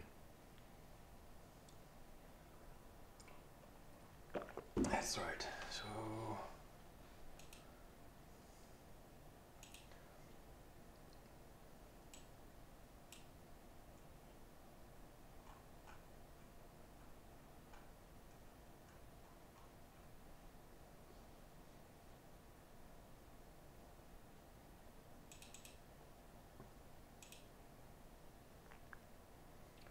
See, the thing is, this is, I believe, a reactive function. So if this changes, this publication will change. But we're using, yeah, and then, it'll invoke this method.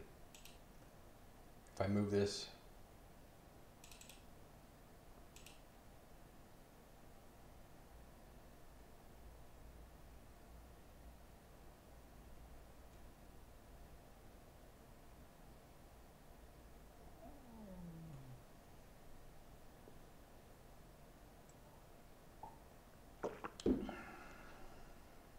well, I think I need to anyway.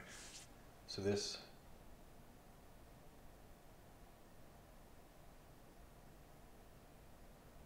group ID.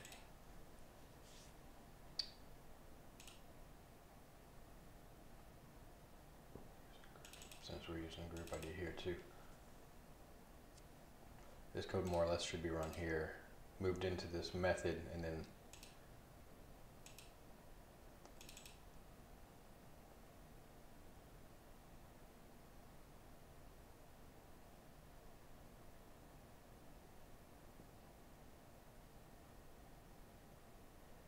called directly.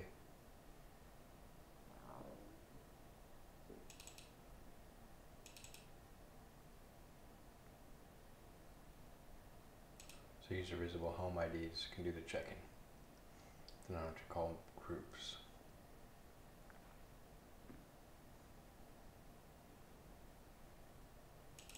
It would be ID. These are visible home IDs.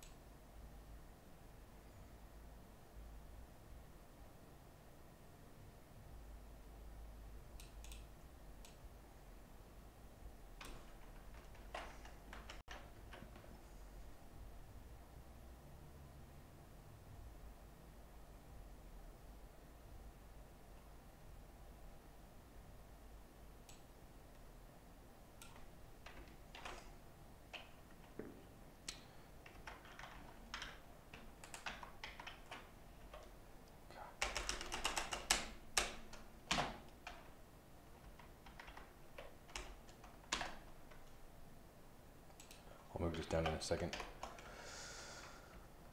Work in progress. Yeah, this is gonna go right here. So I'll just put that triple ellip dot ellipsis so I remember three of them. What do we got here? Oh, yeah, so we need that right above there. There we go.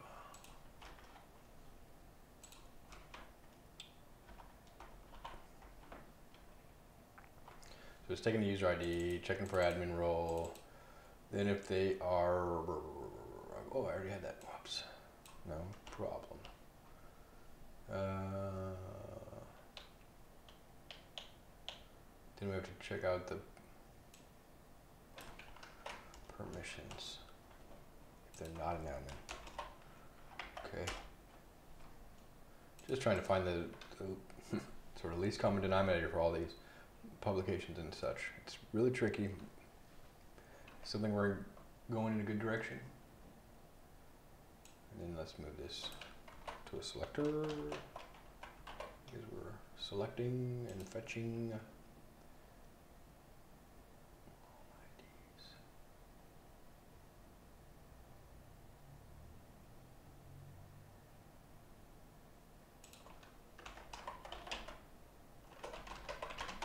And keeping in mind this is returning just an array of IDs, so make sure I'm doing this correctly. And I can do the map directly on that.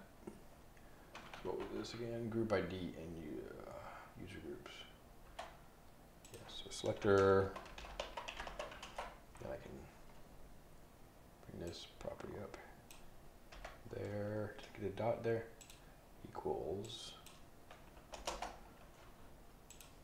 in user groups return. Home's fine, fetch, map, and actually with the find, I don't need to fetch, I can just map. I learned that from another pair programmer in the last session. I'm having trouble remembering names. I won't. I'm, I don't remember your sorry the uh, Twitch names until maybe you've hung out a few times. So I'm not trying to steal anybody's Thunder, okay, why? Is this looking good? Home, return homes, find, selector, map, home, home ID. So we're gonna get the home IDs. Return, I have a typo up here, I have extras. Whoa, whoa, whoa, whoa, whoa. How did I do that? That was cool. There we are.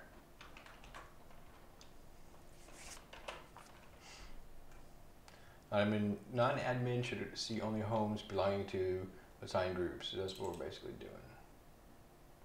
Permission groups. Great. So this more or less is having the same effect. I just moved the auth logic as deeply as I can in these hierarchy of methods. Get user visible home ID. I can rely on that everywhere. Everything is cool. It's not too complicated of a function. Get user visible home IDs. So that makes this, oh yes, and that's broken. Didn't mean to do that.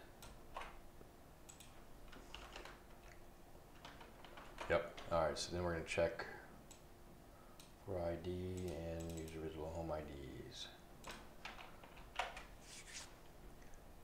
So more or less, there shouldn't be anything. Another tab real quick in the other browser. I'm gonna log in.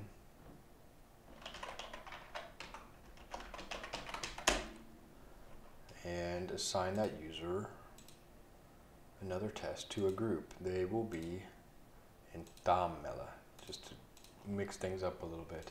Now if I refresh this page, boom, we see some people there. Okay, this is not working now. Okay, I just seen too many people? Too many people there. Let's go to residence and check. Meteor, Minimongo.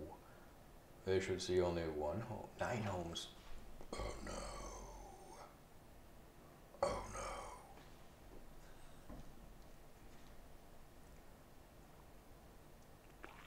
But we're zeroing in on it. Now I can remove the duplicate logic, move it all to this get user visible home IDs. And go further around the circle.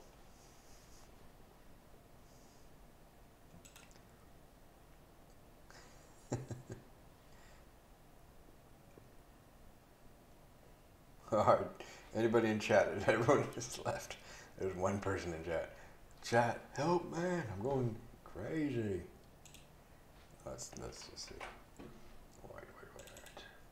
Where's select options?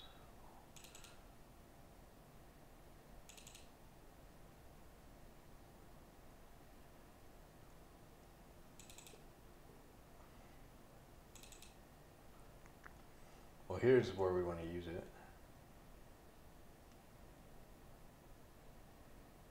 I mean, anytime we're grabbing home IDs,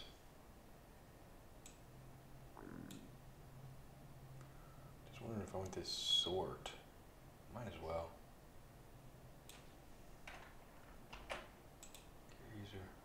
Oh.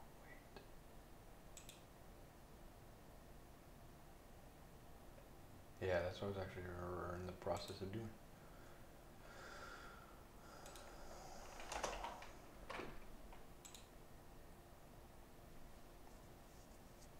I hope it's useful to keep this in both places.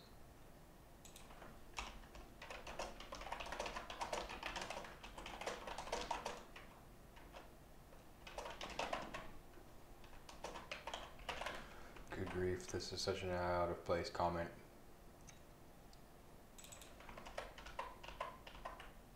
Current user visible homes, though, that's another thing.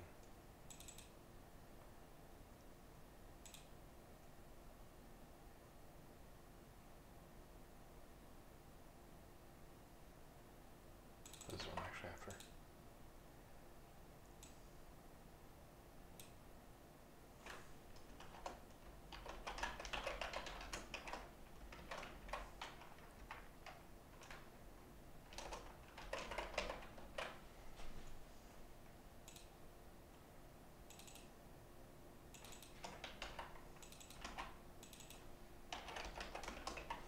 So then I don't need this step because it's already there.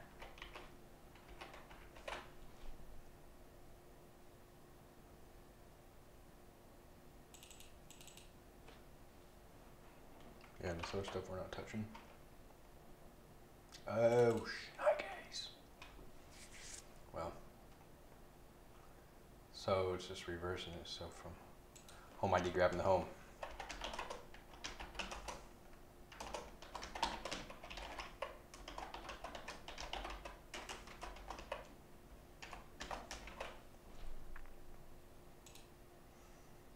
Yeah, because we needed it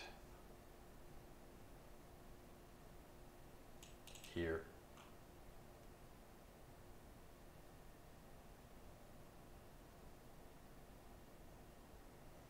So, anyway. That way we can get the name.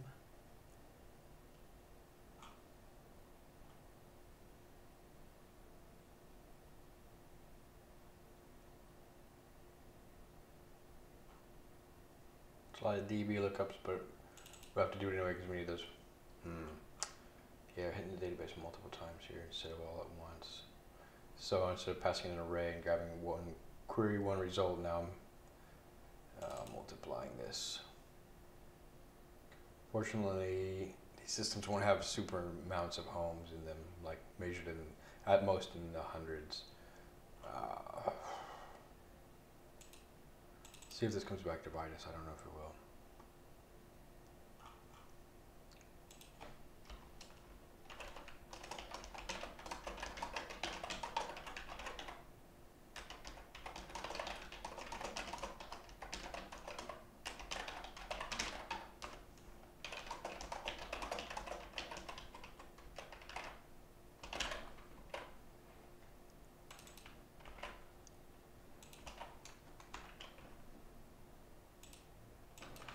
Some little spell check in there would be nice.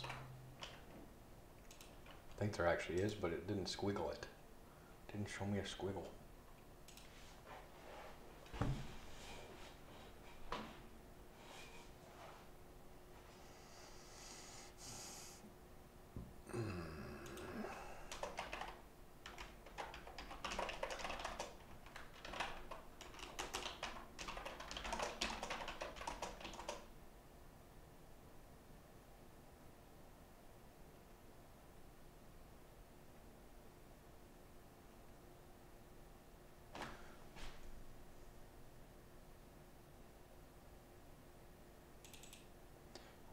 Just query them? I have the IDs here.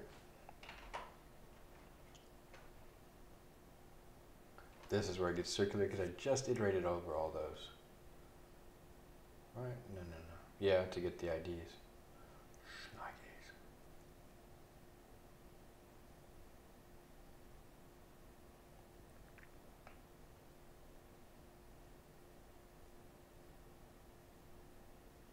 Just get user visible homes, which calls get user visible home IDs.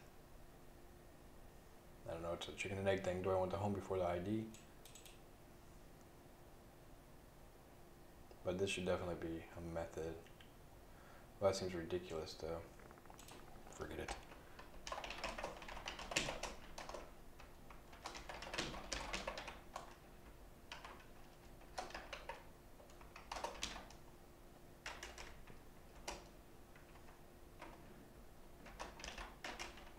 I'm in Nordic keyboard.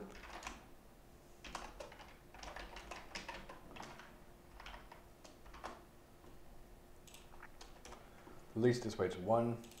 well, it's not even not adding another freaking set of a, of database calls. So that's cool. Homes. Do I need something from here? Sort first name one. So I need the home ID.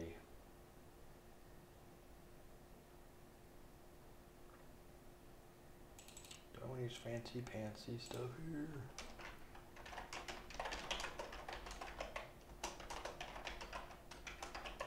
Is that really important? I don't have to type that here.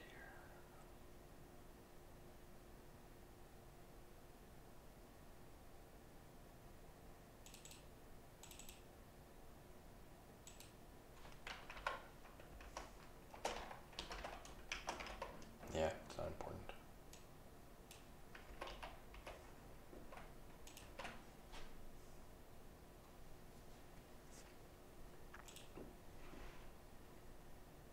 Not departed in from?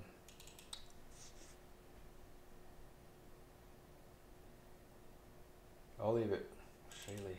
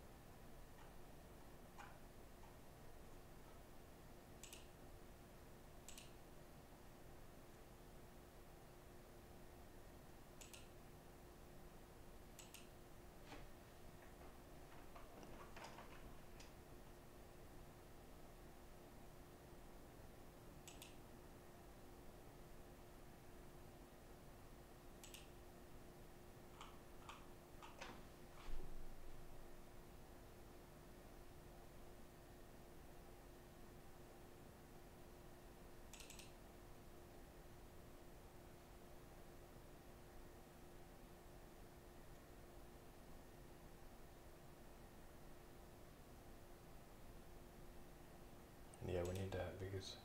Okay, I understand. Yeah, I think this looks good. Alright, so uh, what's breaking? So I need to go back over to activities.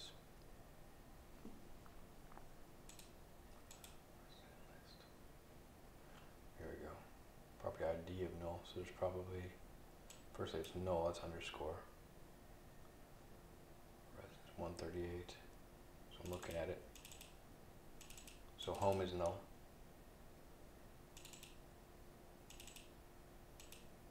Which is interesting. Home IDs, so it could be that, this homes.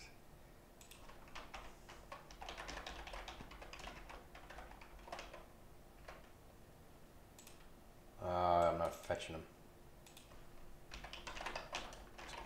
Database cursor and then syntax error. So basically, for what it's worth, This is a Mongo database. This is a cursor that will query, but these are actual results. It's an easy mistake to make. And if I pass the cursor in here, then it's not going to be, it's not an array, but rather the results are an array, which would work in the map. And that's what I was breaking down. Okay. Boy. I'm just going to refresh this. There we go. There we go. Now. Things are working. Now if I check these other pages, things are going to be broken again, but that's fine. 23 pages, so residents 9. Lots of activities for 9 residents, which is cool. 2, 3, 4, 5, 6, 7, 8, 9. These seem to correspond. We're not pulling in residencies here. Man, does this work still? One of one. All right, nine residencies. Oh yeah, it's just ten rows per page, but one, five, six, seven, eight, nine. This seems to still be working. Activities. Everybody's appearing here who should. I reckon.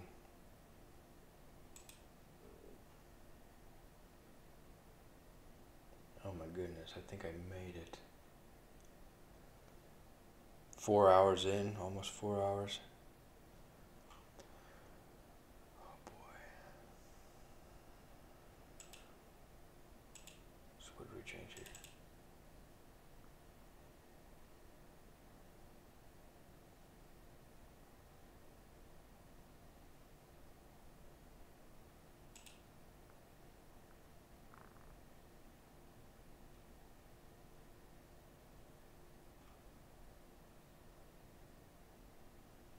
So let's go back over here. So we have this method now. Get user visible home IDs. I'm just going to commit these in some. Work on it in two places.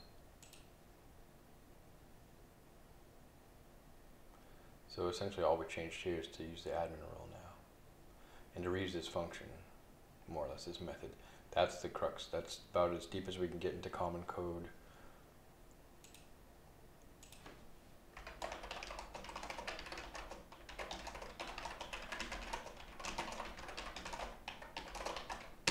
A little bit long of a commit. But that's that.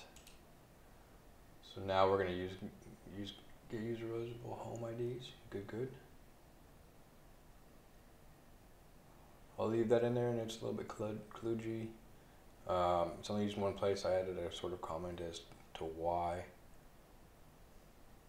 I don't even know if it's gonna work. Let me actually double check that in the UI. So, where did we? Yeah, home. P. No, doesn't even work.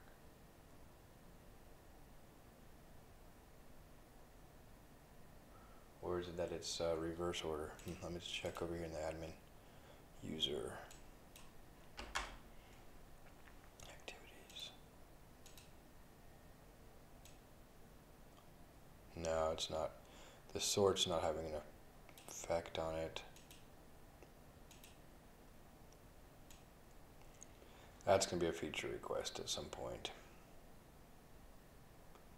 I might as well add it to add it to our backlog.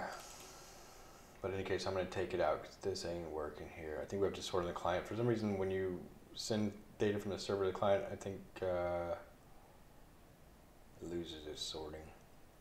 So let's take a look.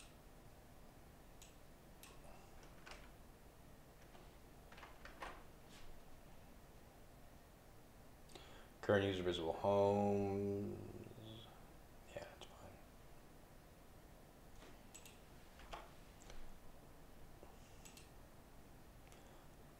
Yeah, and then the client, it's going to be the same, pretty much exact. Whoops. The heck. That. Left. So uh, let's see. P Port North new. Port North new. So you had nothing changed. I think those are the order in which they were entered into the database, something like that. So that would mean that ordering is being preserved. Ah, because there's a client-side query, perhaps. No, no, those come back from a server method. And, and mapping. map, mapping over them. I'll add our backlog real quick.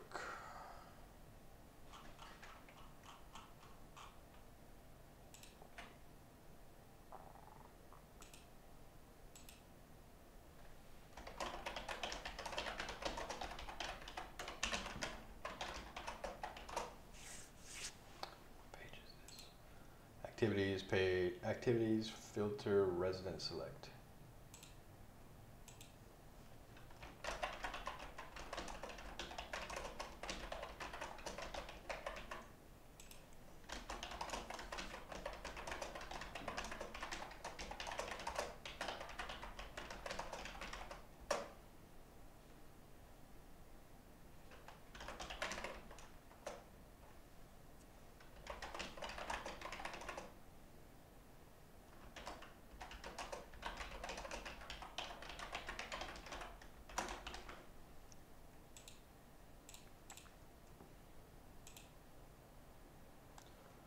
Uh, This is one thing.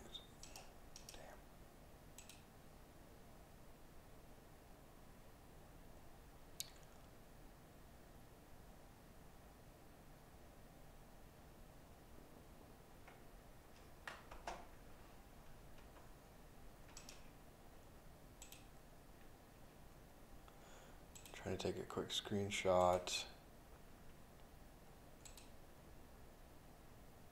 An annotated screenshot, but in any case, I should be able to just shift print screen it. Control print screen it? No, shift print screen, come on. Don't do me like this. And if I use uh, Flameshot, I can't open the dang. Ah. I can't interact.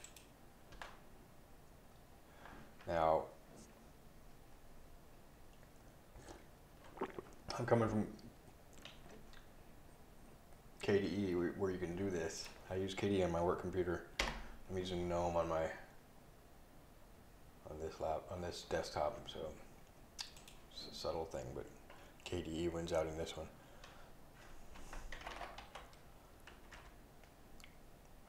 Let me just grab that full screen screenshot and see. Did that even work if I just do a print screen?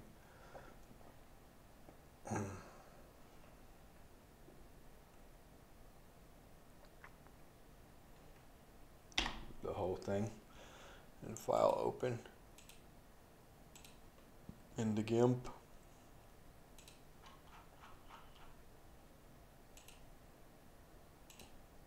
And then just use my, oh really? There it is. Use my crop tool. Uh, you can't see my GIMP screen. I'm just going to do this quickly without to mess with my OBS settings. Crop tool.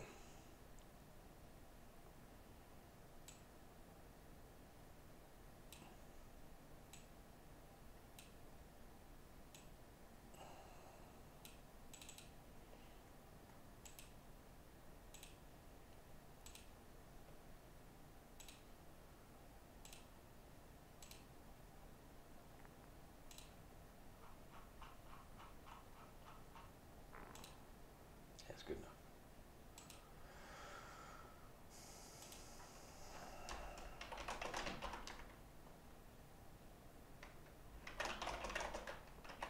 That's, you can try this. If it doesn't work, I don't care that much, but somebody's gonna, well, put it, more imperative.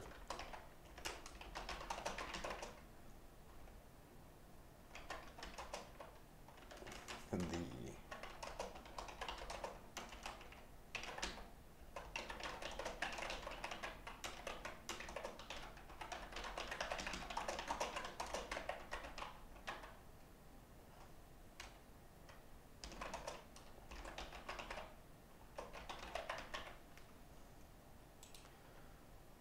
I don't even know if this is low hanging fruit issue, but definitely help wanted. It's an enhancement. So anyone interested in contributing to an open source project, there you go. There's an option. All right, let's do this. We're so close. I just want to commit these and go to bed. So what do we do here?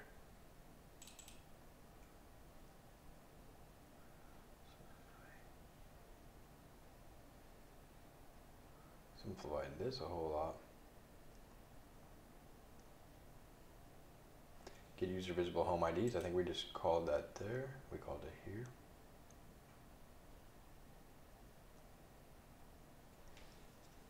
here. yeah, so we're still doing the homes. So we're, I mean, we added a few queries here to get the home IDs to based on the group, but I don't think I think it's like one query, so it's not too bad. Essentially, we got it more narrowed down by virtue of finding the correct home IDs. So yeah, that's cool. Net net gain of one query.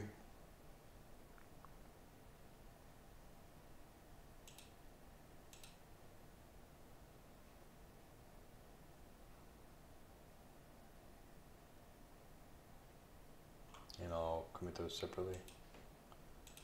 Use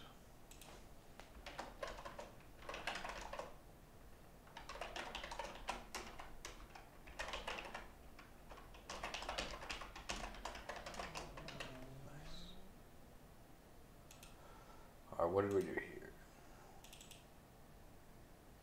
Oh, essentially I'm just I renamed these. So call user visible resident names grouped by homes. Let's see. Okay, well, how do I?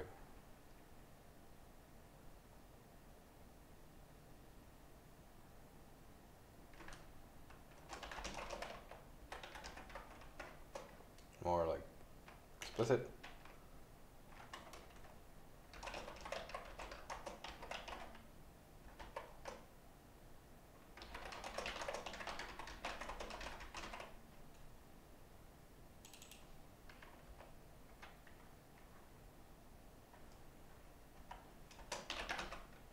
It's the same, it's the same. All right, four hours on the dot. Push those changes. Call it not. No more changes to be seen.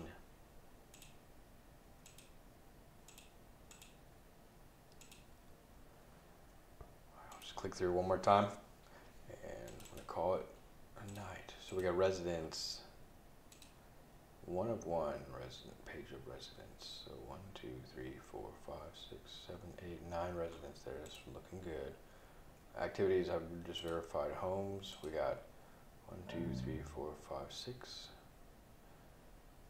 New Nestor Chester. None here. Seven, eight, nine. So we have nine residents. Things are lining up. And uh, as an admin user, I believe we went through all this. My super secret password. We can see, you know, everything. We can see everybody. And we can see all of them. Wow.